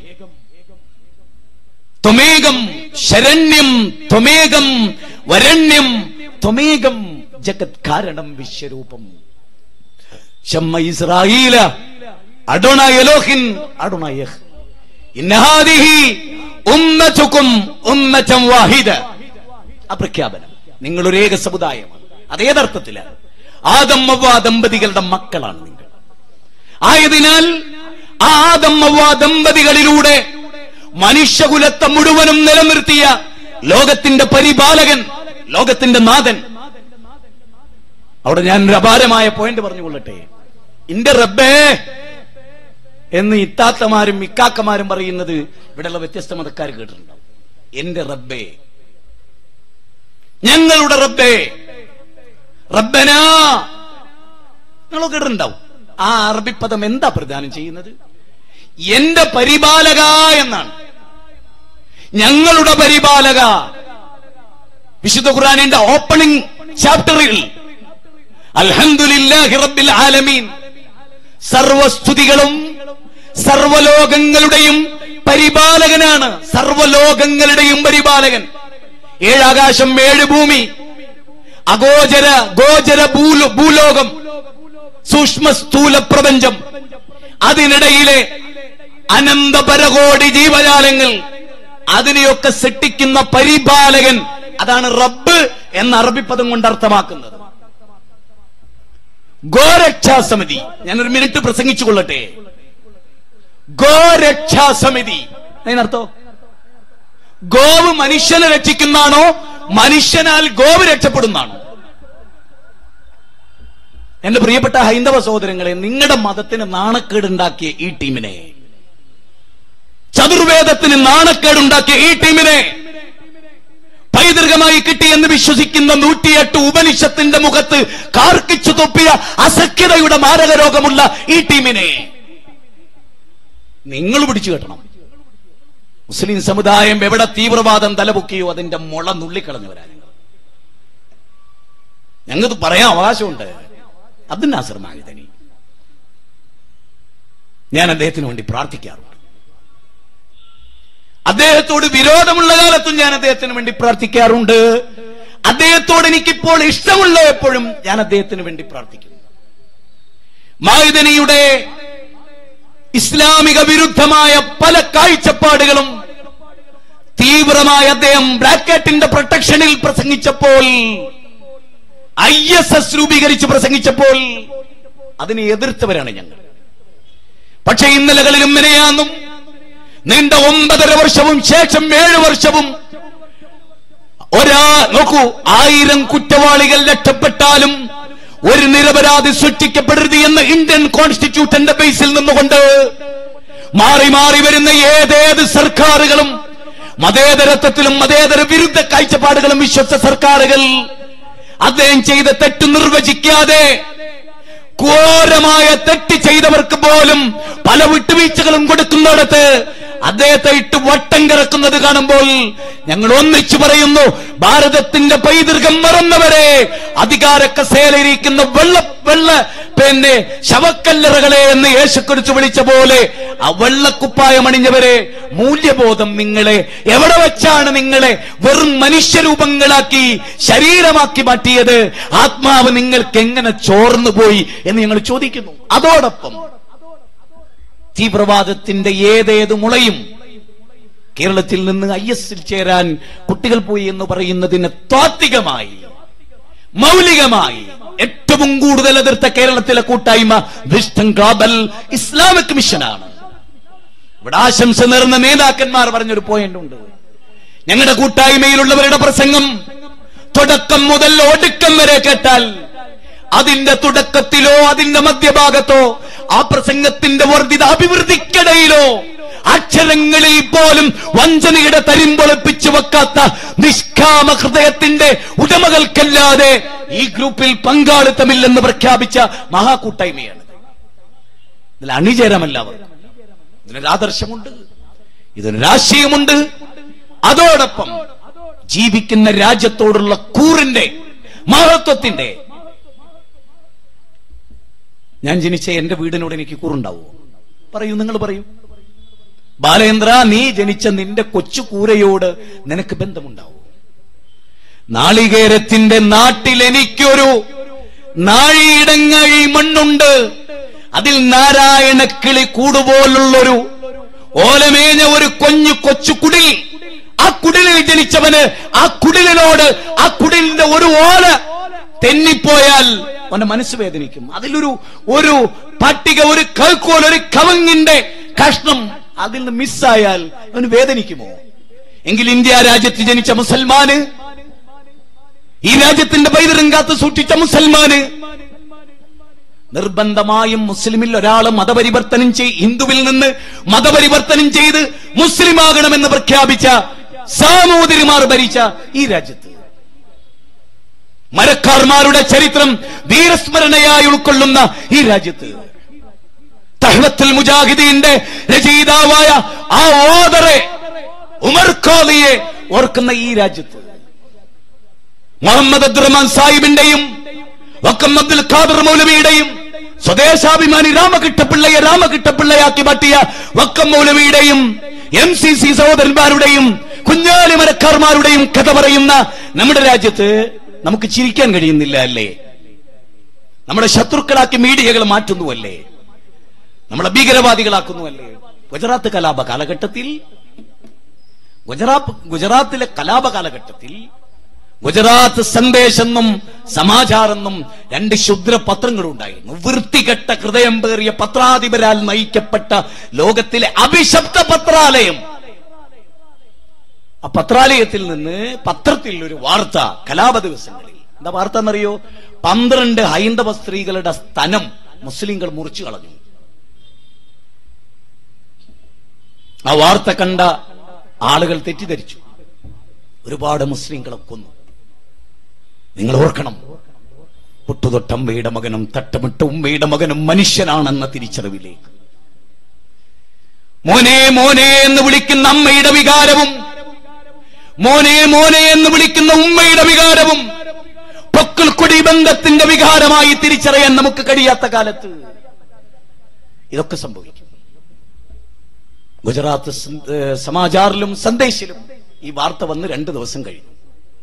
രണ്ട് ദിവസം കഴിഞ്ഞപ്പോ ആ പത്രത്തിലെ വാർത്ത എന്താ അറിയോ? തിരുത്ത്. രണ്ട് ദിവസം മുമ്പ് വന്ന പന്ത്രണ്ട് അമുസ്ലിം വനിതകളുടെ സ്ഥലം മുറിച്ചു എന്ന വാർത്ത ശരിയല്ല. അപ്പോഴേക്ക് എന്ത് നടന്നിരുന്നു? ഒരുപാട് മുസ്ലിങ്ങൾ കൊല്ലപ്പെട്ടിരുന്നു. ആ പത്രത്തെ അഭിനന്ദിച്ച് കത്തെഴുതിയ ഒരു ഭാരതീയനുണ്ട്. ഗുജറാത്തിന്റെ മുഖ്യമന്ത്രി. ആ രണ്ട് പത്രങ്ങളെ അഭിനന്ദിച്ച് സ്വന്തം കൈപ്പടയിൽ കത്തെഴുതി ഒപ്പിട്ട ഒരു ഇന്ത്യൻ പൗരനുണ്ട്. സ്വാതന്ത്ര്യ സമരത്തിൽ പങ്കെടുത്ത ഒരൊറ്റ നേതാവിനെയും മുന്നിലേക്ക് ചൂണ്ടിക്കാണിക്കാൻ അവകാശമില്ലാത്ത ഒരു മുഖ്യമന്ത്രി. ആ മുഖ്യമന്ത്രി രണ്ട് പത്ര ഓഫീസുകളിലേക്ക് കത്തയച്ചു. ഗുജറാത്ത് കലാപ കാലഘട്ടത്തിൽ മുസ്ലിങ്ങളെ കൊല്ലാൻ അനുകൂലമായ വാർത്ത സൃഷ്ടിച്ച നിങ്ങൾക്ക് എന്റെ അഭിനന്ദനങ്ങൾ. ആയിരം യമുനകളിലും ആയിരം ഗംഗകളിലും നൂറ്റൊന്ന് തവണ മുങ്ങിക്കുളിച്ചാൽ പോലും ചെയ്തു കൂട്ടിയ പാപത്തിന്റെ ഒരിഞ്ചും പൊറുക്കപ്പെടാതെ കിടക്കുമെന്നത് ആർക്കാ മനസ്സിലാവാത്തത്? അതുകൊണ്ട് സഹോദരങ്ങളെ നമ്മൾ ആരും ഹിറ്റ്ലറിനെ ഇഷ്ടപ്പെടരുത്. പേര് മാറിയതുകൊണ്ട് ഹിറ്റ്ലറിന്റെ സംസ്കാരം മാറില്ല. രാജ്യം മാറിയതുകൊണ്ട് ഹിറ്റ്ലറിന്റെ സംസ്കാരം മാറില്ല. നമ്മൾ ആരും ഹിറ്റ്ലറിനും മുസോളിനിക്കും പഠിക്കേണ്ടവരല്ല. പാവപ്പെട്ടവരെ കൊന്നൊടുക്കിയ വർണവറിയുടെ വർഗവറിയുടെ ചിന്ത പറയേണ്ടവരല്ല എന്റെ മതം വലുതാണെന്ന് എനിക്ക് വിചാരിക്കുന്ന പോലെ അവരനെ അവരെന്റെ മതം വലുതാണെന്ന് വിശ്വസിക്കാൻ സ്വാതന്ത്ര്യമുള്ള ലക്കും ദീനക്കും വലിയ ദീൻ എന്ന് പ്രഖ്യാപിച്ച ഒരു സമൂഹം. അതാ നമ്മുടെ സമൂഹം. അത് നമ്മുടെ പൈതൃകം. ആ പൈതൃകം മറന്നു പോകരുത്. പലതും നഗ്നരായ സന്യാസിമാരെ ആരാധിക്കുന്നുണ്ട് ഇവിടെ. കബർ പൂജ നടക്കുന്നുണ്ട് ഇവിടെ. നിങ്ങൾക്കറിയാം മുസ്ലിം സമുദായത്തിൽ മരിച്ചിട്ട് മൂന്ന് മാസം മയ്യത്ത് ജീർണിച്ച് എല്ലുകളായി തീരുന്നത് വരെ കാത്തിരുന്ന അന്ധവിശ്വാസികളുടെ നാട്. എല്ലാം നിലക്കുന്ന നാട്. ഓരോരുത്തർക്ക് ഓരോരുത്തരുടെ വിശ്വാസത്തിന്റെ പ്രൗഢിയും പ്രതാപവും പറയാൻ സ്വാതന്ത്ര്യം നൽകിയൊരു നാട്. ഇഷ്ടമുള്ള മതം വിശ്വസിക്കാനും ഇഷ്ടമുള്ള മതം പ്രബോധനം ചെയ്യാനും ഇഷ്ടമുള്ള മതം പ്രീച്ചിങ് നടത്താൻ സ്വാതന്ത്ര്യമുള്ള നാട് അരിതായ്മകളും ബലാരിഷ്ടതകളും ലോകരാജ്യങ്ങളിൽ നിന്യമാക്കപ്പെട്ട അനവധി മുഹൂർത്തങ്ങളും അടുത്ത കാലത്ത് കടന്നുപോയി. തിരിച്ചു പിടിക്കാൻ നമുക്ക് പൈതൃകത്തെ. നമ്മൾ തിരിച്ചു പിടിച്ചിട്ടുണ്ട് പൈതൃകത്തെ. നിരാശപ്പെടേണ്ടതൊന്നുമില്ല. നിരാശപ്പെടേണ്ടതൊന്നുമില്ല. ഇന്ത്യൻ ജനാധിപത്യത്തിന് ദുർബലത വരുന്നു. നമുക്കൊക്കെ അറിയാം. ബലപ്പെടുത്താൻ നമുക്ക്. ബലപ്പെടുത്താൻ നമുക്ക്. ആയുർവേദത്തിൽ ചികിത്സയുണ്ട്. അലോപ്പതിയിലും ചികിത്സയുണ്ട്. ആ നട്ടിൽ ശക്തിപ്പെടും. പക്ഷെ കാര്യമുണ്ട്. ഇന്നലകളുടെ പൈതൃകം ഓർത്തെടുക്കണം. ഇന്നലകളുടെ പൈതൃകം നമ്മുടെ കുട്ടികളെ ഇരുത്തി പഠിപ്പിക്കണം. എനിക്കൊരഭിപ്രായം കൂടിയുണ്ട്. വരും നാളുകളിൽ കേരളത്തിന്റെ സിലബസിൽ ഒരേ ഒരിന്ത്യ ഒരൊറ്റ ജനത എന്ന ഒരു പുതിയ വിഷയം സിലബസായി രൂപപ്പെടുത്തി നമ്മുടെ കുട്ടികളെ ഇരുത്തി പഠിപ്പിച്ചു കൊടുക്കണം. മതാന്തതയുടെ പാഠങ്ങളല്ല സഹിഷ്ണുതയുടെ സാഹോദര്യത്തിന്റെ പാഠങ്ങൾ. ഏതൊരു മതവിശ്വാസിയുടെ മതമൂല്യങ്ങളെയും അനുസരിച്ച് ജീവിക്കാൻ അവന് സ്വാതന്ത്ര്യമുള്ളിടത്തേക്ക് നമ്മൾ എത്തണം. അത് മാത്രമല്ല നമുക്ക് ചില പ്രതിജ്ഞകൾ കൂടി വേണം. ആ പ്രതിജ്ഞകൾ ഇസ്രയേൽ എന്ന് പറയുന്ന രാജ്യം. വല്ലാതെ റോഡ് വെട്ടാത്ത നമ്മുടെ നാട്. ഇസ്രയേലിലേക്ക് വല്ലാതെ പോകാൻ നമ്മളുടെ പൂർവികർ ഇഷ്ടപ്പെട്ടില്ല. ഇന്ന് പലരും പലരും പലയിടത്തും പോകുന്നുണ്ട്. അവർക്കെല്ലാം ന്യായമായ ഞാൻ ഒന്നുകൂടി ചോദിച്ചോട്ടെ? മുട്ടുസൂചി കൊണ്ട് പോലും ഉപദ്രവിക്കാൻ പൈതൃകം കൊണ്ട് അവകാശമില്ലാത്ത നാം മൂക്കത്ത് അരിപ്പ വെച്ച് കെട്ടി ഒരു പ്രാണി പോലും മൂക്കിൽ പോയാൽ അത് പാപമാണെന്ന് വിശ്വസിച്ച നാം പശുവിന്റെ അകിടിൽ നിന്ന് കറന്നെടുക്കുന്ന പാൽ ആ പാൽ കുടിക്കൽ പോലും പശുവിനോടുള്ള ഉപദ്രവമാണെന്ന് പഠിപ്പിച്ച നാം മനുഷ്യരെ കുത്തി കൊലപ്പെടുത്തിയും വെട്ടി നുറുക്കിയും ചുട്ടുകൊന്നും അരങ്ങ് തകർക്കുന്ന ഇന്നിന്റെ ലോകത്ത് പലരും അത് അറിയാതെ പോകുന്നുണ്ടെങ്കിൽ അവിടെ ഞാൻ ഒന്നുകൂടി ചോദിക്കുന്നു നിങ്ങളോട്. ഗോരക്ഷ സമിതി. ഞാൻ അവിടെ പറഞ്ഞിട്ട് അങ്ങോട്ട് വന്നത്. ഗോവിനെ രക്ഷിക്കുന്ന സമിതി. ഗോവ് ദൈവമാണെങ്കിൽ അതിനെ രക്ഷിക്കേണ്ടത് മനുഷ്യനാണോ? ദൈവം മനുഷ്യനെ രക്ഷിക്കുന്നു എന്നാണ് നമ്മളൊക്കെ കൺസെപ്റ്റ് അത് വളരെ പ്രധാനമാണ്. ഗോരക്ഷ ഗോവിനെ രക്ഷിക്കുന്നവർ. ഗോപാലൻ എന്ന് പറഞ്ഞാൽ എന്താ? എന്റെ ഗോപാലേട്ടൻ. ഇനി ഗോപാലൻകുട്ടി മാഷി. കേസരിയുടെ മുൻ പത്രാധിപർ. ആർ എസ് എസിന്റെ ഇന്നത്തെ ഏറ്റവും വലിയ ബുദ്ധി കേന്ദ്രം. എന്റെ അയൽവാസി. ഞാൻ ആത്മാർത്ഥമായി ചോദിക്കുന്നു. ഗോപാലൻ എന്ന് പറഞ്ഞ എന്താ? ഗോവിനെ പാലിക്കുന്നവൻ എന്ന് പറഞ്ഞാൽ ഗോവ് ഗോപാലൻകുട്ടി മാഷ പാലിക്കല്ല മനുഷ്യരെ മനസ്സിലാക്കി ഇനിയെങ്കിലും ആർക്കെങ്കിലും ഇത്തരത്തിലുള്ള കാര്യങ്ങൾ തിരുത്തിക്കൂടാ എന്നൊന്നുമില്ല. ഗോപാലൻ എന്ന് പറഞ്ഞാൽ ഗോവിനെ പാലിക്കുന്നവനാണ് റബ്ബ് എന്ന് പറഞ്ഞാൽ ലോകത്തെ പാലിക്കുന്നവനാണ്. അല്ലാതെ റബ്ബിനെ മനുഷ്യർ പാലിക്കല്ല എന്റെ റബ്ബിനെ ഞാൻ സംരക്ഷിക്കേണ്ടി വരിക. എന്തൊരു ഗതികേടാ ലോകത്തിന്. എന്റെ പടച്ചോനെ ഞാൻ സംരക്ഷിക്കാം. ഞാൻ ഇവരോടൊക്കെ വരി നമ്മളെ ദൈവത്തെ സംരക്ഷിക്കുക നമ്മൾ ഒന്നിച്ചിറങ്ങാം നമ്മളെ ദൈവത്തിന്റെ അർച്ചത കൊണ്ടുപോകണം അത് ആർക്കാ കേട്? എന്റെ പ്രിയപ്പെട്ട ഹൈന്ദവരെ അത് നിങ്ങളുടെ മുഖത്ത് നോക്കിയില്ല. ഛേദ ഛേദോപരിഷത്തിലെ വാചകത്തിനെതിരാത്. നതസ്യ പ്രതിമാസി എന്ന് പഠിപ്പിച്ച യജുർവേദത്തിനെതിരാത്.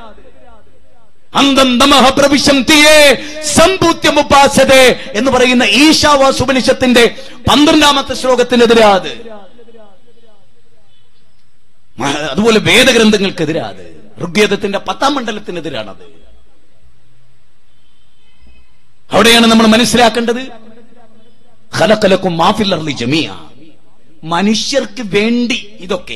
ഇവിടെ എന്താ സംഭവിക്കുന്ന അറിയങ്ങൾ? പശുവിന് വേണ്ടി മനുഷ്യൻ. അങ്ങനെ വരുമ്പോ എന്താ ഉണ്ടാവുക? പശുവിന് വേണ്ടി മനുഷ്യൻ എന്ന് പറഞ്ഞാൽ പിന്നെ മനുഷ്യനല്ല പ്രധാനം. പശുവിനാണ്. ഇസ്ലാമോ? മനുഷ്യർക്ക് വേണ്ടി പശു. അപ്പൊ ആർക്കാ പ്രധാനം?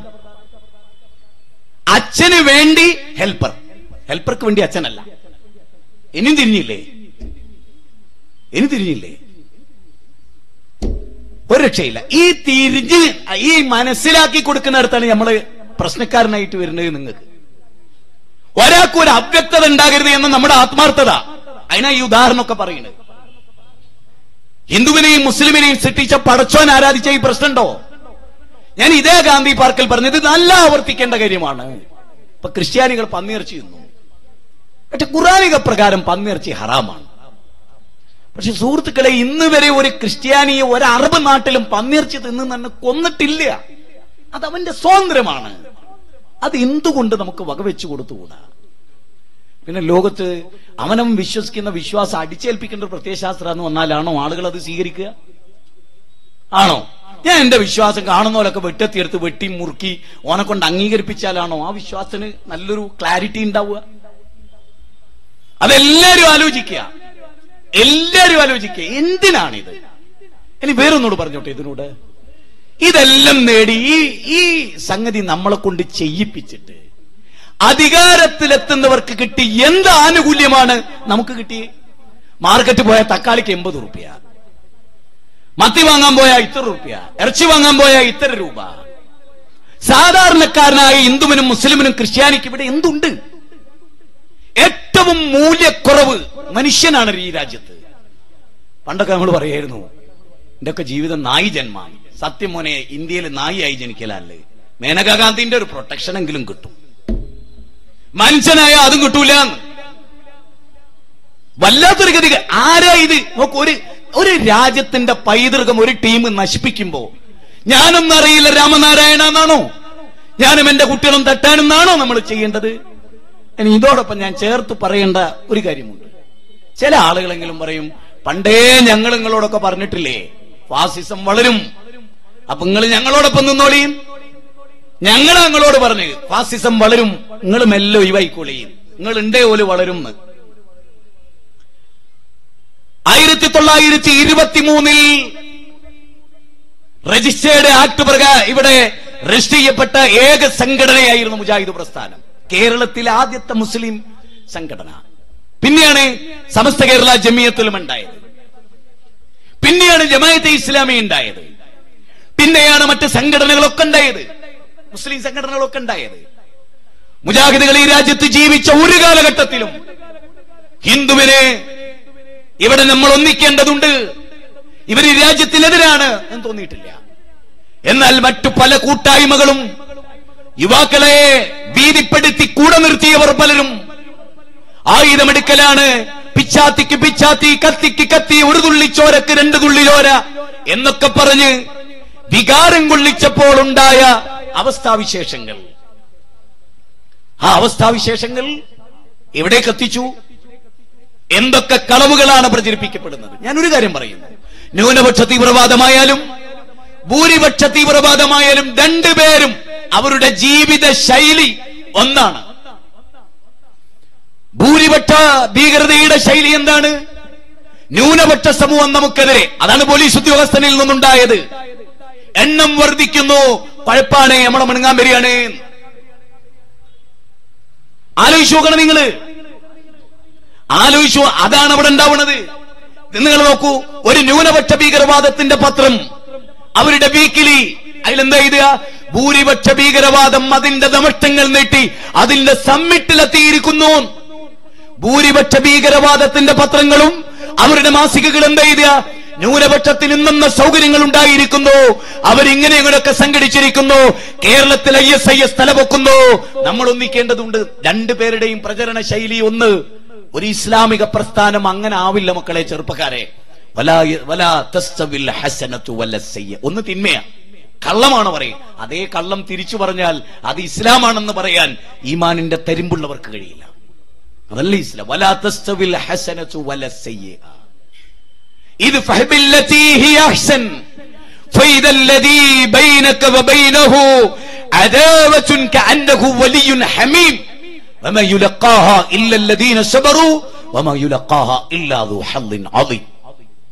തിന്മയെ നന്മ കൊണ്ടാ പ്രതിരോധിക്കുന്നത് അത് ഞാനിവിടെ അവസാനിപ്പിക്കുകയാണ്. തിന്മയെ നന്മ കൊണ്ടാണ് പ്രതിരോധിക്കുന്നത്. ഞാൻ ഒരു കാര്യം കൂടി പറയുന്നു. നേരത്തെ ടി കെ അഷ്റഫ് അവസാനിപ്പിച്ച പോയിന്റിനെ ഞാൻ ഒന്നുകൂടി ഓർമ്മപ്പെടുത്തുന്നു. മുസ്ലിമിന് ഒരു പ്രശ്നം ഇവിടെ ഇല്ല. ഇത് മുസൽമാന്റെ മാത്രം ഇവിടെ മുസൽമാൻ കരുവാക്കപ്പെടുന്നു. മുസൽമാൻ അല്ല ഏറ്റവും കൂടുതൽ ക്ഷീണിക്കുക ഈ രാജ്യത്ത്?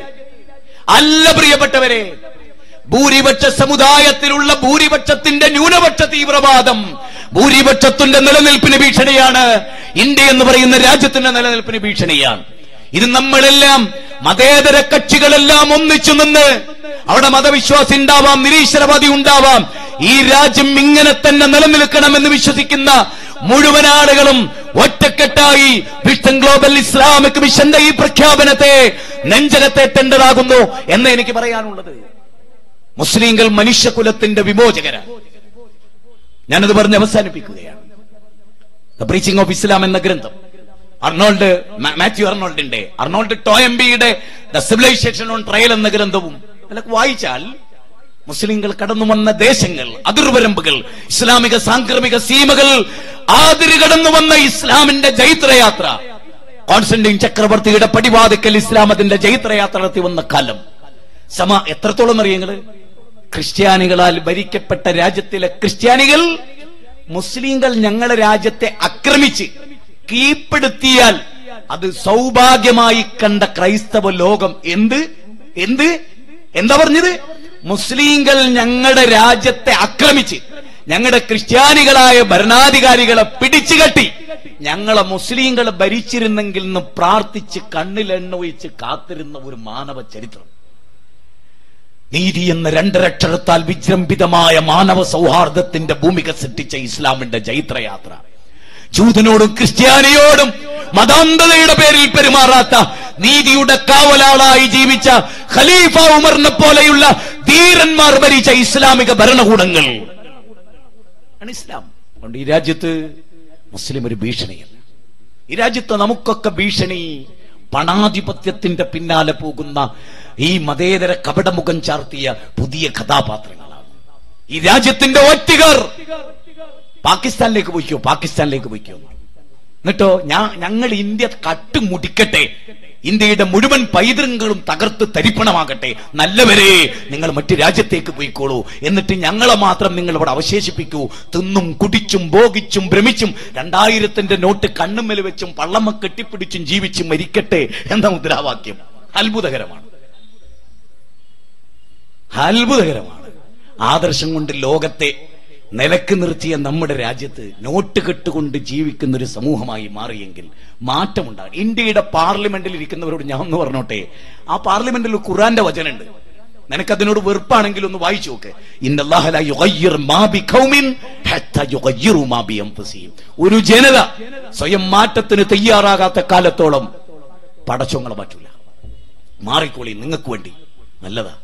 ഞാൻ എന്റെ പ്രസംഗം കേൾക്കുന്ന മുഴുവൻ ആളുകളോട് ഇത് ഏതൊക്കെ മീഡിയകളിലൂടെ കേൾക്കുന്നവരോടും അപ്പുറവും ഇപ്പുറവും കട്ട് ചെയ്യാതെ കേൾക്കണേ ഇന്ത്യൻ പൗര എന്ന് പ്രഖ്യാപിച്ചുകൊണ്ട് നമ്മുടെ രാജ്യം നിലനിൽക്കണം ഇന്നലകളെ പോലെ കലാപമുണ്ടായ ഒരു ഗ്രാമത്തിലും സ്വസ്ഥതയില്ല. ഗുജറാത്ത് ഭീവണ്ടി മൊറാദാബാദ് ജാംഷഡ്പൂർ അഹമ്മദാബാദ്. എവിടെ? ബോംബെയുടെ തെരുവീതികൾ കൊണാട്ട് പ്ലേസ്. എവിടെ സമാധാനം? പുന്നാട് മാറ എവിടെ സമാധാനം? സമാധാനമില്ലാത്ത രാത്രികളാണോ തിരുവനന്തപുരത്തുകാരെ നിങ്ങൾ ഇഷ്ടപ്പെടുന്നത്? ശാന്തിയില്ലാത്ത ദിവസമാണോ നിങ്ങൾ ഇഷ്ടപ്പെടുന്നത്? മുസ്ലിമിന് ഹിന്ദുവിനോടും ഹിന്ദുവിന് മുസ്ലിമിനോട് ക്രിസ്ത്യാനിക്ക് മുസൽമാനോടും ചിരിക്കാനാകാത്ത വൃത്തികെട്ട ദിനങ്ങളാണോ? ആ ദിനരാത്രങ്ങളാണോ നാം സ്വപ്നം കാണുന്നത്? ആദർശപരമായി അസ്തിത്വത്തിലും വ്യക്തിത്വത്തിലും വിശ്വാസത്തിലും അടിയുറച്ചു നിൽക്കുന്നതോടൊപ്പം അവരനെ സ്നേഹിക്കാൻ കഴിയുന്ന ഇന്നലകളുടെ നല്ല രാജ്യം ഇനിയും തുടരണമെന്ന് ആഗ്രഹിക്കുന്നതെങ്കിൽ വിഷ്ണു ഗ്ലോബൽ ഇസ്ലാം മിഷന്റെ ഈ ജൈത്രയാത്രയിലെ ജലഗണികകളായി മാറാൻ നിങ്ങളോട് ആവശ്യപ്പെട്ടുകൊണ്ട് എന്റെ വാക്കുകൾ കേട്ട് നിങ്ങൾക്കെല്ലാം നന്ദി പറഞ്ഞുകൊണ്ട് ഞാൻ ഓതിയ ഖുറാനിന്റെ വചനം ചുരുക്കി അർത്ഥം പറഞ്ഞുകൊണ്ട് അവസാനിപ്പിച്ചു കൊള്ളട്ടെ. ഖുർആൻ പറയുന്നത്